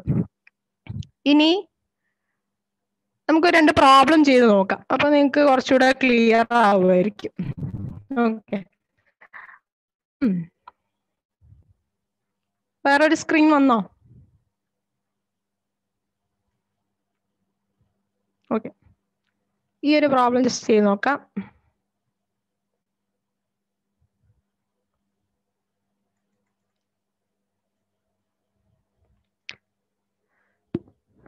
കാണാമോ? ക്വസ്റ്റ്യൻ കാണാമോ? കാണാം. ക്വസ്റ്റ്യൻ ഇതാണ്. കുറെ ഓർഡിനേറ്റ്സ് തന്നിട്ടുണ്ട്. അപ്പൊ ഇതിനകത്ത് ഏരിയ കാൽക്കുലേറ്റ് ചെയ്യാനാണ് ചോദിച്ചേക്കുന്നത്. ഇപ്പൊ ട്രപ്പിസോയിഡൽ റൂൾ വെച്ച് കാൽക്കുലേറ്റ് ചെയ്യാനും ചോദിച്ചിട്ടുണ്ട്. സിംസൺസ് റൂൾ വെച്ച് കാൽക്കുലേറ്റ് ചെയ്യാനും ചോദിച്ചിട്ടുണ്ട്. അപ്പോൾ ഇതിനകത്ത് ഈ ക്വസ്റ്റിന്റെ പ്രത്യേകത എന്താന്ന് പറഞ്ഞു കഴിഞ്ഞാൽ ഒരേ ഇന്റർവെൽ അല്ല ഇതിന്. കണ്ടോ? ഇവിടെ zero to five five to ten ten to fifteen fifteen to twenty okay അവിടം വരെ ഫൈവ് മീറ്റർ ആണ് ഇന്റർവെൽ അത് കഴിയുമ്പോൾ തൊട്ട് ട്വന്റി തേർട്ടി ഫോർട്ടി ഫിഫ്റ്റി അവിടം വരെ പത്ത് മീറ്റർ ആണ് ഇന്റർവെൽ പിന്നെ ഫിഫ്റ്റീൻ എയ്റ്റീൻ അപ്പോൾ അടുത്തതിൽ ട്വന്റി മീറ്റർ ആണ് ഇന്റർവെൽ അപ്പൊ നിങ്ങൾക്ക് ഒരിക്കലും ഇത്രയും വലിയൊരു ക്വസ്റ്റ്യൻ ചോദിക്കില്ല. നിങ്ങൾക്ക് ചോദിക്കുമ്പോഴത്തേനും ഈ ഇത്രയും പോർഷൻ ആയിട്ട് ചോദിക്കുള്ളൂ. ഒരേ ഇന്റർവെല്ലിൽ വരുന്ന ആ ഒരു പോർഷൻ അതായത് ഇവിടം വരെ. ഇത്രയായിരിക്കും നിങ്ങൾക്ക് ചോദിക്കുന്നത്. പക്ഷെ ചിലപ്പോൾ നമ്പർ ഓഫ് ഓർഡിനേറ്റ്സ് കുറച്ചുകൂടെ കൂടുതലുണ്ടാവും. പക്ഷെ ഇങ്ങനെയായിരിക്കും ചോദിക്കുന്നത്. അപ്പൊ ഇത്രയും പോർഷൻ ആണെന്നുണ്ടെങ്കിൽ നിങ്ങൾ എങ്ങനെയായിരിക്കും ചെയ്യുന്നത്? അപ്പൊ നിങ്ങളുടെ സിംസൺസ് റൂളും ഉണ്ട് ട്രപ്പിസോയിഡൽ റൂളും ഉണ്ട് അല്ലെ? അപ്പൊ ഇതിന്റെ ഇക്വേഷൻ വരുന്ന എങ്ങനെയാണ്? ട്രപ്പിസോയിഡൽ റൂൾ ആണെങ്കിൽ D by two into D by two അപ്പൊ ഡി എന്ന് പറയുന്നത് എന്താണ്? ആ ഇന്റർവെൽ ആണ് അല്ലെ? അപ്പൊ ഫൈവ് മീറ്റർ ആണ് ഇന്റർവെൽ വരുന്നത്. അപ്പൊ five by two into first reading plus last reading അതായത് E ordinate plus E ordinate okay അപ്പൊ first one two point five plus last last reading എന്ന് പറയുന്നത് six point five first reading plus last reading plus two into ബാക്കി അകത്തുള്ള ബാക്കി readings എല്ലാം. One two three ഈ മൂന്ന് റീഡിങ്സിന്റെ value three point eight plus four point eight plus five point two ഇങ്ങനെയായിരിക്കും നിങ്ങൾ ട്രപ്പിസോയിഡൽ റൂൾ വെച്ച് ചെയ്യുന്നത്. ഒന്നുകൂടെ പറയാം. ഡി ബൈ ടു ഇന്റു അതായത് ഡി എന്ന് പറയുന്നത് ഈ ഒരു ഡിസ്റ്റൻസ് ആണ്. അപ്പം സെയിം തന്നെയാണോ ഇന്റർവെൽ എന്നുള്ളത് നോക്കുക. സെയിം ഇന്റർവെൽ ആണെങ്കിൽ അങ്ങനെ ആയിരിക്കും ചോദിക്കുന്നത് മിക്കവാറും. ഇപ്പൊ സെയിം ഇന്റർവെൽ ആണെങ്കിൽ ഇപ്പൊ ഡി ബൈ ടു ഇപ്പൊ ഇതിനകത്ത് ഫൈവ് ആണ് ഇന്റർവെൽ അപ്പൊ five by two into first reading plus last reading plus two into ബാക്കി എല്ലാ റീഡിങ്സിന്റെയും കൂടെ സം ഇതിന്റെയും ഇതിന്റെയും ഇതിന്റെ ഇതാണ് നിങ്ങൾക്ക് ട്രപ്പിസോയിഡൽ റൂൾ വെച്ച് ചെയ്യാനുള്ളത്. ഇനി നേരത്തെ പറഞ്ഞ പോലെ ഡിഫറെന്റ് ഇന്റർവെൽ ആണെന്നുണ്ടെങ്കിൽ അടുത്ത സെക്ഷൻ കൺസിഡർ ചെയ്യുക അപ്പൊ ട്വന്റി തൊട്ട് സിക്സ്റ്റി വരെ ഉള്ളത് അടുത്ത സെക്ഷൻ കൺസിഡർ ചെയ്യുക അപ്പൊ അതിനകത്ത് D by D by two into D by ടുവിനകത്ത് ഡിയുടെ വാല്യൂ എന്ന് പറഞ്ഞു കഴിഞ്ഞാൽ ഇവിടെ ടെൻ ആയിരിക്കും വരുന്നത്. ഓക്കെ മറ്റേത് ഫൈവ് ആണെങ്കിൽ ടെൻ ആയിരിക്കും വരുന്നത്. അപ്പൊ അങ്ങനെ ഓരോ ഇന്റർവെല്ലും കൺസിഡർ ചെയ്ത് എല്ലാം കൂടെ ജസ്റ്റ് ആഡ് ചെയ്യാം. അപ്പൊ ഇതാണ് മെത്തേഡ് എന്നുള്ളത് മനസ്സിലാക്കി വെക്കുക. ഏത് ഏതൊക്കെയാണ് എടുക്കേണ്ടതെന്നുള്ളത്. First reading plus last reading plus two into ബാക്കി എല്ലാ readings in two D by two ഇങ്ങനെയാണ് എന്ത് ചെയ്യുന്നത്? ട്രപ്പിസോയിഡൽ റൂൾ വെച്ച് ചെയ്യുന്നത്. അതേപോലെ സിംസൺസ് റൂൾ വെച്ചാണ് ചെയ്യുന്നതെങ്കിൽ ഡി ബൈ ത്രീ അപ്പൊ ഡി എന്ന് പറയുന്നത് എന്താണ്? ആ distance five by three into first reading plus last reading അപ്പൊ ഇതിനകത്ത് ഇത് ഇത് ഫസ്റ്റ് റീഡിങ്ങും ഇത് ലാസ്റ്റ് റീഡിംഗും ആണ് അല്ലേ അപ്പൊ ഇവിടം വരെയാണ് നമ്മൾ എടുക്കുന്നതെന്നുണ്ടെങ്കിൽ ഇത് ഫസ്റ്റ് റീഡിംഗ് ഇത് last reading plus four into even numbers അതായത് ഇപ്പൊ ഇത് വരും. ഇതാണ് O one O two O three O four അപ്പൊ ഈ വാല്യൂ എടുക്കുക ഈ വാല്യൂ എടുക്കുക. Plus two into odd numbers ഈ വാല്യൂ എടുക്കുക. പിന്നെ ഇത് എടുക്കണം. കാരണം ഇത് ഓൾറെഡി നമ്മൾ എടുത്തിട്ടുള്ള ഒരു വാല്യൂ ആണ്. അപ്പൊ ഇതിനകത്ത് എന്തൊക്കെയാണ് എടുക്കേണ്ടത് എന്നുള്ളത് മാത്രം നിങ്ങൾ നോക്കിയാൽ മതി. ഇതിനകത്ത് സിംസൺസ് റൂൾ എടുക്കണമെന്നുണ്ടെങ്കിൽ നമ്പർ ഓഫ് ഓർഡിനേറ്റ്സ് എന്ന് പറയുന്നത് ഓഡ് ആവണം. അപ്പൊ ഇതിനകത്ത് അഞ്ചെണ്ണം ഉള്ളത്. One two three four five അപ്പൊ ഇതിനകത്ത് നിങ്ങൾ ശ്രദ്ധിക്കേണ്ട ഒരു വേറെ വേറൊരു കാര്യം എന്ന് പറഞ്ഞു കഴിഞ്ഞാൽ നിങ്ങൾ ഓ സീറോ എന്ന് പറഞ്ഞ് എടുക്കണ്ട.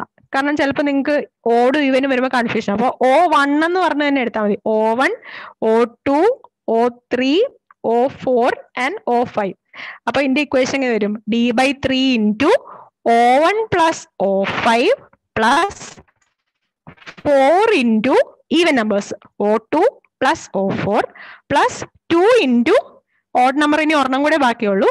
ഓ ത്രീ ഇത് വെച്ചിട്ടാണ് സിംസൺസ് റൂൾ വെച്ച് പ്രോബ്ലം ചെയ്യുന്നത്. അപ്പൊ നിങ്ങൾ ഇതിനകത്ത് ഇനിയും ക്വസ്റ്റ്യൻസ് കൊടുത്തിട്ടുണ്ട്. അത് നിങ്ങളൊന്ന് തന്നെ ചെയ്യാൻ പറ്റുന്നുണ്ടോ എന്നുള്ളത് നോക്കാം. ഓക്കെ അപ്പൊ ഇന്ന് തന്നെ നിങ്ങൾ ചെയ്ത് നോക്കുക. ഇതിനകത്തുനിന്ന് എന്തായാലും ഒരു എ ലെവലിൽ ഇതിനകത്തുനിന്ന് ക്വസ്റ്റ്യൻസ് ചോദിച്ച് കാണുന്നതാണ്. ഓക്കെ അപ്പൊ ഇതാണ് ഞാൻ നേരത്തെ പറഞ്ഞ ഡിഫറെന്റ് ഇന്റർവെൽ ആയതുകൊണ്ടാണ് ഇങ്ങനെ മൂന്നെണ്ണമായിട്ട് ചെയ്തിട്ട് എല്ലാം കൂടെ ആഡ് ചെയ്തേക്കുന്നത്. ഒറ്റ ഇന്റർവെൽ ആണെന്നുണ്ടെങ്കിൽ ഇങ്ങനെയൊന്നും ചെയ്യണ്ട. ഇതെന്ന് പറയുന്നത് വോളിയമിന്റെ ആണ് നേരത്തെ പറഞ്ഞ നേരത്തെ പറഞ്ഞ നമ്മൾ ഏരിയ കാൽക്കുലേഷൻ ആണ്. അതേപോലെ തന്നെ ഇവിടെ ഇപ്പൊ നമ്മൾ വോളിയം കാൽക്കുലേഷൻ ആണ് അടുത്തത് ചെയ്യുന്നത്. സെയിം ഇക്വേഷൻ അതിനകത്ത് ആ ഓയ്ക്ക് വരം എ ആണെന്ന് മാത്രം. അപ്പൊ ഇവിടെ കോണ്ടൂർ ഇന്റർവെൽ എന്ന് പറയുന്നത് എത്രയായിരിക്കും വരുന്നത്? Contour interval hundred and one hundred and two hundred and three അതായത് ഡിയുടെ വാല്യൂ എന്ന് പറയുന്നത് വൺ ആയിരിക്കും. One two one naught two minus one naught one അല്ലെങ്കിൽ one naught three minus one naught two അപ്പൊ ഇതാണ് കോണ്ടൂർ ഇന്റർവെൽ എന്ന് പറയുന്നത്. അപ്പൊ D by two into A one plus A nine അപ്പൊ ഇത് അവസാന ആദ്യത്തെ അവസാനത്തെ പ്ലസ് ഫോർ ഇന്റു ഈവൻ ആയിട്ടുള്ള എല്ലാം അതായത് two four six eight plus two into ബാക്കി ഓടുള്ളത് ത്രീ ഫൈവ് സെവൻ അപ്പൊ ഇത് ചെയ്യുമ്പോഴത്തേക്കും നിങ്ങൾക്ക് ആൻസർ കിട്ടും. അപ്പൊ ഇത് നിങ്ങൾ ചെയ്ത് നോക്കുക കേട്ടോ. ഈ പ്രോബ്ലംസ് ഒക്കെ ജസ്റ്റ് ഒന്ന് ചെയ്ത് നോക്കുക. ഇനി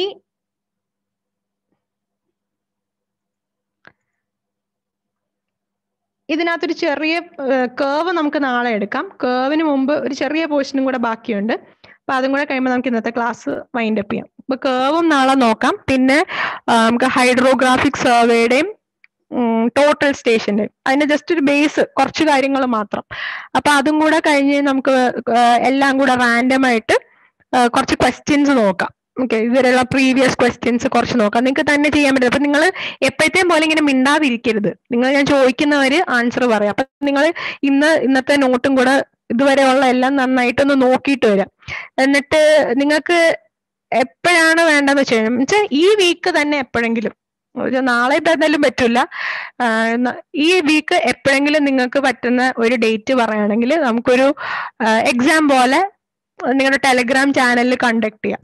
എന്ന് വെച്ചാൽ എക്സാം പോലെ എന്ന് പറഞ്ഞു കഴിഞ്ഞാൽ നിങ്ങൾക്ക് ക്വസ്റ്റ്യൻ വരും. നിങ്ങൾ സാധാരണ കാണൂലേ? അതുപോലെ നാല് ഓപ്ഷൻസ് കാണും. ആ ഓപ്ഷൻസിൽ നിന്ന് നിങ്ങൾ ആൻസർ അപ്പോൾ ഒരു ക്വസ്റ്റ്യന് തേർട്ടി സെക്കൻഡ്സ് വെച്ചായിരിക്കും ഉണ്ടാവുന്നത്. അപ്പൊ ആ തേർട്ടി സെക്കൻഡ്സിനുള്ളിൽ നിങ്ങൾ ആൻസർ പോൾ ചെയ്യുക. അപ്പൊ കറക്റ്റ് ആണോ തെറ്റാണോ എന്നനുസരിച്ച് അതിനകത്ത് ആൻസർ എഴുതി വരും. ഓക്കെ നിങ്ങൾക്ക് എപ്പോഴാണ് ടൈം കിട്ടുന്നത്? വെച്ചാൽ പഠിച്ച് നിങ്ങൾ ഓക്കെ ആവുന്ന എപ്പോഴാന്ന് വെച്ച് കഴിഞ്ഞാൽ പറയാം. ഈ വീക്ക് എപ്പോഴെങ്കിലും. ഓക്കെ അപ്പൊ നാളെ നിങ്ങൾ എല്ലാവരും കൂടെ ആലോചിച്ചിട്ട് നിങ്ങൾ തമ്മിൽ തമ്മിൽ നിങ്ങൾക്ക് വല്ലവരൊക്കെ പരിചയം ഉണ്ടാവോ അപ്പൊ നിങ്ങൾ പറ്റുന്ന ഒരു ടൈം എപ്പോഴാന്ന് വെച്ചാൽ പറയാ. നമുക്ക് അപ്പൊ ഒരു ടെസ്റ്റ് നടത്താം. അല്ലെങ്കിൽ നിങ്ങളിത് പഠിക്കില്ല. അതുകൊണ്ടാണ് കേട്ടോ. ഇനി ഇൻസ്ട്രുമെന്റൽ മെത്തേഡ് ഇപ്പൊ പ്ലാനിമീറ്റർ അതാണ് ആദ്യം. പ്ലാനിമീറ്റർ എന്ന് പറയുന്നത് ഏരിയ കാൽക്കുലേറ്റ് ചെയ്യാൻ വേണ്ടിയിട്ട്. ഇപ്പൊ ഏരിയ കണ്ടുപിടിക്കാൻ വേണ്ടിയിട്ടുള്ള ഒരു ഇൻസ്ട്രുമെന്റ് ആണ് പ്ലാനിമീറ്റർ ഓക്കെ. പ്ലാനിമീറ്റർ എന്ന് പറയുന്നത് ഏരിയ കണ്ടുപിടിക്കാൻ വേണ്ടിയിട്ടുള്ള ഒരു ഇൻസ്ട്രുമെന്റ് ആണ്. അതിനകത്തുനിന്ന് ചോദിക്കുന്ന ചോദിച്ചിട്ടുള്ള ഒരു ക്വസ്റ്റ്യൻ എന്ന് പറഞ്ഞു കഴിഞ്ഞാൽ എത്ര എണ്ണമായിട്ടാണ് അത് ഡിവൈഡ് ചെയ്തിട്ടുള്ളത്? അതിനകത്തൊരു ഡയൽ പോലെ കാണും. ഓക്കെ. പ്ലാനിമീറ്ററിനകത്ത് ഒരു ഡയൽ പോലെ കാണും. ആ ഡയലിനെ എത്രയായിട്ടാണ് ഡിവൈഡ് ചെയ്യുന്നതെന്നുള്ളതാണ് ഹൺഡ്രഡ് പാർട്സ് ആയിട്ടാണ് ഡിവൈഡ് ചെയ്തിട്ടുള്ളത്. ഇനി ആ സീറോ സർക്കിളിന്റെ സെന്ററിനെയാണ് ആങ്കർ പോയിന്റ് എന്ന് പറയുന്നത്. അപ്പൊ സീറോ സർക്കിളിന്റെ സെന്ററിനെയാണ് ഞാൻ ആങ്കർ പോയിന്റ് എന്ന് പറയുന്നത്. അപ്പൊ ആങ്കർ പോയിന്റ് ഫിക്സ്ഡ് ആയിരിക്കും. ട്രേസിംഗ് പോയിന്റ് ഇപ്പൊ പേരിനകത്ത് തന്നെ ഉണ്ട്. ആങ്കർ പോയിന്റ് എന്ന് പറയുമ്പോൾ ഫിക്സ്ഡ് ആയിട്ടുള്ളതാണ്. ട്രേസിംഗ് പോയിന്റ് ആ ഒരു പോയിന്റ് ആയിരിക്കും റൊട്ടേറ്റ് ചെയ്യുന്നത്. പിന്നെ വേറൊരു ക്വസ്റ്റ്യൻ ചോദിച്ചിട്ടുണ്ട്. സീറോ സർക്കിൾ എന്ന് പറയുന്നത് ഏത് ഇൻസ്ട്രുമെന്റ് ആയിട്ട് റിലേറ്റ് ചെയ്തേക്കുന്നു? താഴെ കുറെ ഇൻസ്ട്രുമെന്റ്സിന്റെ പേര് ഓപ്ഷനിൽ കൊടുത്തിട്ടുണ്ടാവും.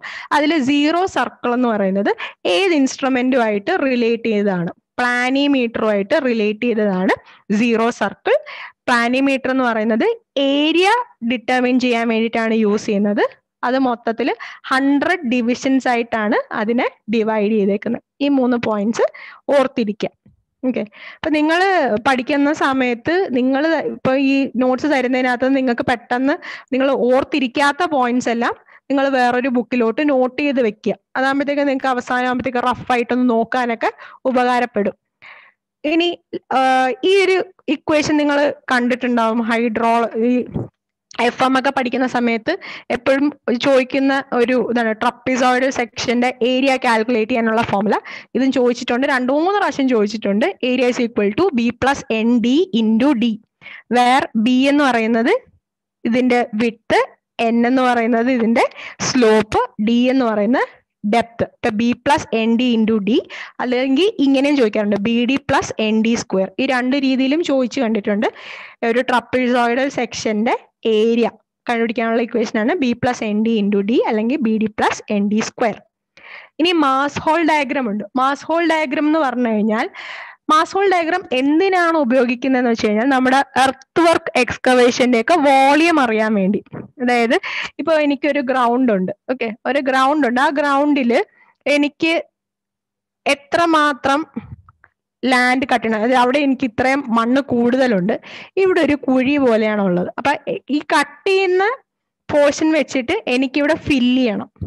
ഓക്കെ ഈ കട്ട് ചെയ്യുന്ന പോർഷൻ വെച്ച് എനിക്കിവിടെ ഫില്ല് ചെയ്യണം. അപ്പം എത്രമാത്രം എർത്ത് വർക്ക് എനിക്ക് ആവശ്യമുണ്ട്. അതായത് എത്രമാത്രം വോളിയം ഓഫ് സാൻഡ് അല്ലെങ്കിൽ വോളിയം ഓഫ് മണ്ണ് ഞാൻ ഇവിടുന്ന് കട്ട് ചെയ്ത് സോയിൽ കട്ട് ചെയ്ത് ഇവിടെ കൊണ്ട് ഫില്ല് ചെയ്യുന്നു. അതിനെയാണ് നമ്മൾ മാസ് അതിനു വേണ്ടിയാണ് നമ്മൾ മാസ് ഹോൾ ഡയഗ്രാം യൂസ് ചെയ്യുന്നത്. To know the measurement of volume of earth work. Volume of earth work determine ചെയ്യാൻ വേണ്ടിയിട്ടാണ് മാസ് ഹോൾ കർവ് യൂസ് ചെയ്യുന്നത്. ഇനി ഞാൻ ഇവിടെ കട്ട് ചെയ്ത ഫുൾ പോർഷനെയും ഞാൻ ഇവിടെ ഫില്ല് ചെയ്തു എന്നുണ്ടെങ്കിൽ അതിനെയാണ് ബാലൻസിങ് ഡെപ്ത് എന്ന് പറയുന്നത്. എന്റെ ഡെപ്ത് ഓഫ് കട്ടിംഗ് എന്ന് പറയുന്നത് ഡെപ്ത് ഓഫ് ഫില്ലിംഗ് എന്ന് പറയുന്നതും സെയിം ആണെങ്കിൽ അതിനെയാണ് ഞാൻ ബാലൻസിങ് ഡെപ്ത് എന്ന് പറയുന്നത്. ഇനിയിപ്പോ ചില കേസിൽ ഞാൻ ഈ കട്ട് ചെയ്ത് മുഴുവൻ മണ്ണും ഫില്ല് ചെയ്യാനായിട്ട് ആവശ്യം ഉണ്ടാവില്ല ഓക്കെ അതായത് ഞാൻ ആ കട്ട് ചെയ്ത് കഴിഞ്ഞിട്ട് എല്ലാം ഞാൻ ഫില്ല് ചെയ്തു. കട്ട് ചെയ്ത സാൻഡ് ഫില്ല് ചെയ്ത് കഴിഞ്ഞ് പിന്നെയും കട്ട് ചെയ്ത പോർഷൻ കുറെ ബാക്കി വന്നു. ഓക്കെ അതായത് ഇപ്പൊ ഞാൻ പത്ത് മീറ്റർ ക്യൂബ് കട്ട് ചെയ്തെടുത്തു. ഒരു അമ്പത് മീറ്റർ ക്യൂബ് മതിയായിരുന്നു എനിക്ക് ഫില്ല് ചെയ്യാൻ. ബാക്കി ഒരു വൺ മീറ്റർ ക്യൂബ് വേസ്റ്റ് ആയി പോയി. അതിനെയാണ് വേസ്റ്റ് അല്ലെങ്കിൽ സ്പോയിൽ എന്ന് പറയുന്നത്. വേസ്റ്റ് ആയി പോയതിനെയാണ് വേസ്റ്റ് അല്ലെങ്കിൽ സ്പോയിൽ എന്ന് പറയുന്നത്. അപ്പൊ ഇതിനകത്തുനിന്ന് ചോദിക്കുന്ന ചോദിക്കാൻ ചാൻസ് ഉള്ള ഒരു വേർഡാണ് ഇപ്പൊ പറഞ്ഞത്. പിന്നെ എന്തിനു വേണ്ടിയാണ് യൂസ് ചെയ്യുന്നതെന്ന്. പിന്നെ ഹോൾ ഡിസ്റ്റൻസ് ഹോൾ ഡിസ്റ്റൻസ് എന്ന് പറഞ്ഞാൽ it is a distance from the working face of excavation excavation ഉദ്ദേശിച്ച കട്ടിംഗ് ആണ്. കട്ടിംഗ് തൊട്ട് ഫില്ലിംഗ് വരെയുള്ള ഡിസ്റ്റൻസിനെയാണ് ഹോൾ ഡിസ്റ്റൻസ് എന്ന് പറയുന്നത്. ഇനി ആവറേജ് ഹോൾ ഡിസ്റ്റൻസ് പറഞ്ഞാൽ സെന്റർ ഓഫ് ഗ്രാവിറ്റി എന്നൊരു വാക്ക് കാണുകയാണെങ്കിൽ അത് ആവറേജ് ഹോൾ ഡിസ്റ്റൻസ് ആണ്. ഇപ്പൊ പറഞ്ഞ പോലെ തന്നെ കട്ടിങ്ങും ഫില്ലിങ്ങും തമ്മിലുള്ള ഡിസ്റ്റൻസിനെയാണ് ഹോൾ ഡിസ്റ്റൻസ് എന്ന് പറയുന്നത്. ഇനി ആ സെന്റർ ഓഫ് ഗ്രാവിറ്റി അതിന്റെ രണ്ടിനും സെന്റർ ഓഫ് ഗ്രാവിറ്റി തമ്മിലുള്ള ഡിസ്റ്റൻസ് ആണെങ്കിൽ ആവറേജ് ഹോൾ ഡിസ്റ്റൻസ് ഇനി വെറുതെ ഹോൾ എന്ന് മാത്രം പറയുകയാണെങ്കിൽ it is a product of load അതായത് ആ വോളിയം കട്ട് ചെയ്ത മണ്ണിന്റെ വോളിയം ഇൻ ടു എത്രമാത്രം ഡിസ്റ്റൻസിനെ ഞാനത് ഹോൾ ചെയ്തു പറഞ്ഞാൽ നീക്കിക്കൊണ്ട് പോയി എന്നുള്ളത് ട്രാൻസ്പോർട്ട് ചെയ്തു എന്നുള്ളത്. അതിനെയാണ് ഹോൾ എന്ന് പറയുന്നത്. It is the product of volume അല്ലെങ്കിൽ load and its haul distance അതിനെയാണ് ഹോൾ എന്ന് പറയുന്നത്. ഇനി ലാസ്റ്റ് വൺ ആണ് free haul and overhaul distance അപ്പോൾ ഫ്രീ ഹോൾ എന്ന് പറഞ്ഞു കഴിഞ്ഞാൽ ഇപ്പൊ സപ്പോസ് നിങ്ങൾക്ക് നിങ്ങളുടെ വീട് ഒരു വീടിന്റെ കൺസ്ട്രക്ഷൻ നടക്കുകയാണ് ഓക്കെ ആ വീടിന്റെ കൺസ്ട്രക്ഷൻ നടക്കുമ്പോഴത്തേക്ക് നിങ്ങൾക്ക് കുറച്ച് അതിന് വേണ്ടിയിട്ടുള്ള മെറ്റീരിയൽസ് നിങ്ങളുടെ വീട്ടിലോട്ട് കൊണ്ടുവരണം. അപ്പൊ ഭയങ്കര ദൂരമുള്ള ഡിസ്റ്റൻസ് ഇപ്പൊ ഡിസ്റ്റൻസ് കൂടുതലാണെന്നുണ്ടെങ്കിൽ അപ്പൊ ആ ട്രാൻസ്പോർട്ട് ചെയ്യുന്ന ആൾ പറയും ഇത്രയും ഡിസ്റ്റൻസ് വരെ. ഇപ്പൊ നിങ്ങൾക്ക് ഇപ്പൊ ഫുഡൊക്കെ ആണെങ്കിലും ഫുഡ് ഡെലിവറി ഒക്കെ നടത്തുമ്പോൾ പറയും ഇത്രയും കിലോമീറ്ററിനുള്ളിൽ അപ്പൊ ഇത്രയും കിലോമീറ്ററിനുള്ളിലാണെങ്കിൽ ഫ്രീ ആണ്. അതിനേക്കാൾ അതിനെക്കാട്ടിലും കൂടുതലാകുമ്പോഴത്തേക്കും എക്സ്ട്രാ പേയ്മെന്റ് പേയ്മെന്റ് നമ്മൾ നടത്തേണ്ടി വരും. അപ്പം അതാണ് ഫ്രീ ഹോൾ എത്രമാത്രം ഡിസ്റ്റൻസിലാണോ എനിക്ക് ഫ്രീ ആയിട്ട് അത് ഹോൾ ചെയ്യാൻ പറ്റുന്നത്. അതിനെയാണ് ഫ്രീ ഹോൾ എന്ന് പറയുന്നത്. അവിടം തൊട്ട് പിന്നെ ഓരോ ഡിസ്റ്റൻസിനും ഞാൻ എക്സ്ട്രാ ആയിട്ട് പേ ചെയ്യേണ്ടി വരും. അപ്പൊ ആ എക്സ്ട്രാ പേ ചെയ്യേണ്ട ഡിസ്റ്റൻസ് എത്രയാണോ അതിനെയാണ് ഓവർ ഹോൾ എന്ന് പറയുന്നത്. ഫ്രീ ഹോൾ എന്ന് പറഞ്ഞു കഴിഞ്ഞാൽ ഫ്രീ ആയിട്ട് ഹോൾ ചെയ്യാൻ പറ്റുന്നത് ഓവർ ഹോൾ എന്ന് പറഞ്ഞു കഴിഞ്ഞാൽ എക്സ്ട്രാ പേയ്മെന്റ് കൊടുക്കേണ്ട ഡിസ്റ്റൻസ് വേസ്റ്റ് ഞാൻ ഓൾറെഡി പറഞ്ഞു. എന്താന്നുള്ളത്? ഇനി നിങ്ങൾക്കുള്ളത് കേവ് എന്ന് പറയുന്ന പോർഷൻ ആണ്. അപ്പൊ കേവ് നമുക്ക് നാളെ എടുക്കാം. അപ്പൊ കേവും പിന്നെ ഒരു ടാക്യോമെട്രി പിന്നെ ഒരു ചെറിയ പോർഷനും കൂടെ ബാക്കിയുണ്ട്. ഇൻസ്ട്രുമെന്റ്സിന്റെ കുറെ ഇൻസ്ട്രുമെന്റ്സ് യൂസ് ഫോർ സർവേയിങ് ഒരു ചെറിയ പോർഷൻ മൈനർ ഇൻസ്ട്രുമെന്റ്സ് എന്ന് പറഞ്ഞത് അപ്പൊ ഇതും പിന്നെ ആ രണ്ട് സർവേയും അപ്പൊ അതും കൂടെ കഴിയുമ്പോഴത്തേക്ക് നിങ്ങളുടെ പോർഷൻ നാളെയും കൊണ്ട് തീരും. അപ്പം പ്രോബ്ലംസ് എല്ലാം നിങ്ങൾ ഒന്ന് രണ്ട് പ്രാവശ്യം ചെയ്ത് നോക്കുക. കാരണം നിങ്ങൾ ആദ്യമായിട്ട് ചെയ്യുന്ന കുട്ടികളാണെങ്കിൽ നിങ്ങൾക്ക് വായിക്കും നേരത്തെ കണ്ടിട്ടുള്ളവരാണെങ്കിൽ കുഴപ്പമില്ല. പക്ഷെ ആദ്യമായിട്ട് ചെയ്യുമ്പോഴത്തേനും നിങ്ങൾ രണ്ട് മൂന്ന് ക്വസ്റ്റ്യൻ ചെയ്ത് നോക്കിയാലേ യൂസ്ഡ് ആവുള്ളൂ. അതുകൊണ്ടാണ് പറയുന്നത്. അപ്പം ഇതുവരെ ഉള്ള പോർഷൻ ഒക്കെ നാളെ നോക്കിയിട്ട് വരാ. എന്തെങ്കിലും നമുക്ക് നാളെ കൂടെ സർവേ ഉണ്ടാവുള്ളൂ. അപ്പൊ എന്തെങ്കിലും ഡൗട്ട് എന്തെങ്കിലും ചോദിക്കാനുണ്ടെങ്കിൽ ചോദിക്കാം. കേട്ടോ. അപ്പൊ ആ ഒബ്ജക്റ്റീവ്സ് തന്നത് അതും എല്ലാരും വർക്കൗട്ട് ചെയ്ത് നോക്കുക. ഓക്കെ ആണോ? അപ്പൊ ഇന്നത്തെ ക്ലാസ് നമുക്ക് വൈൻഡ് അപ്പ് ചെയ്യാം. എന്തെങ്കിലും ഉണ്ടെങ്കിൽ ചോദിക്കണം കേട്ടോ നിങ്ങൾ നാളെ. Okay thank you thank you good night thank you miss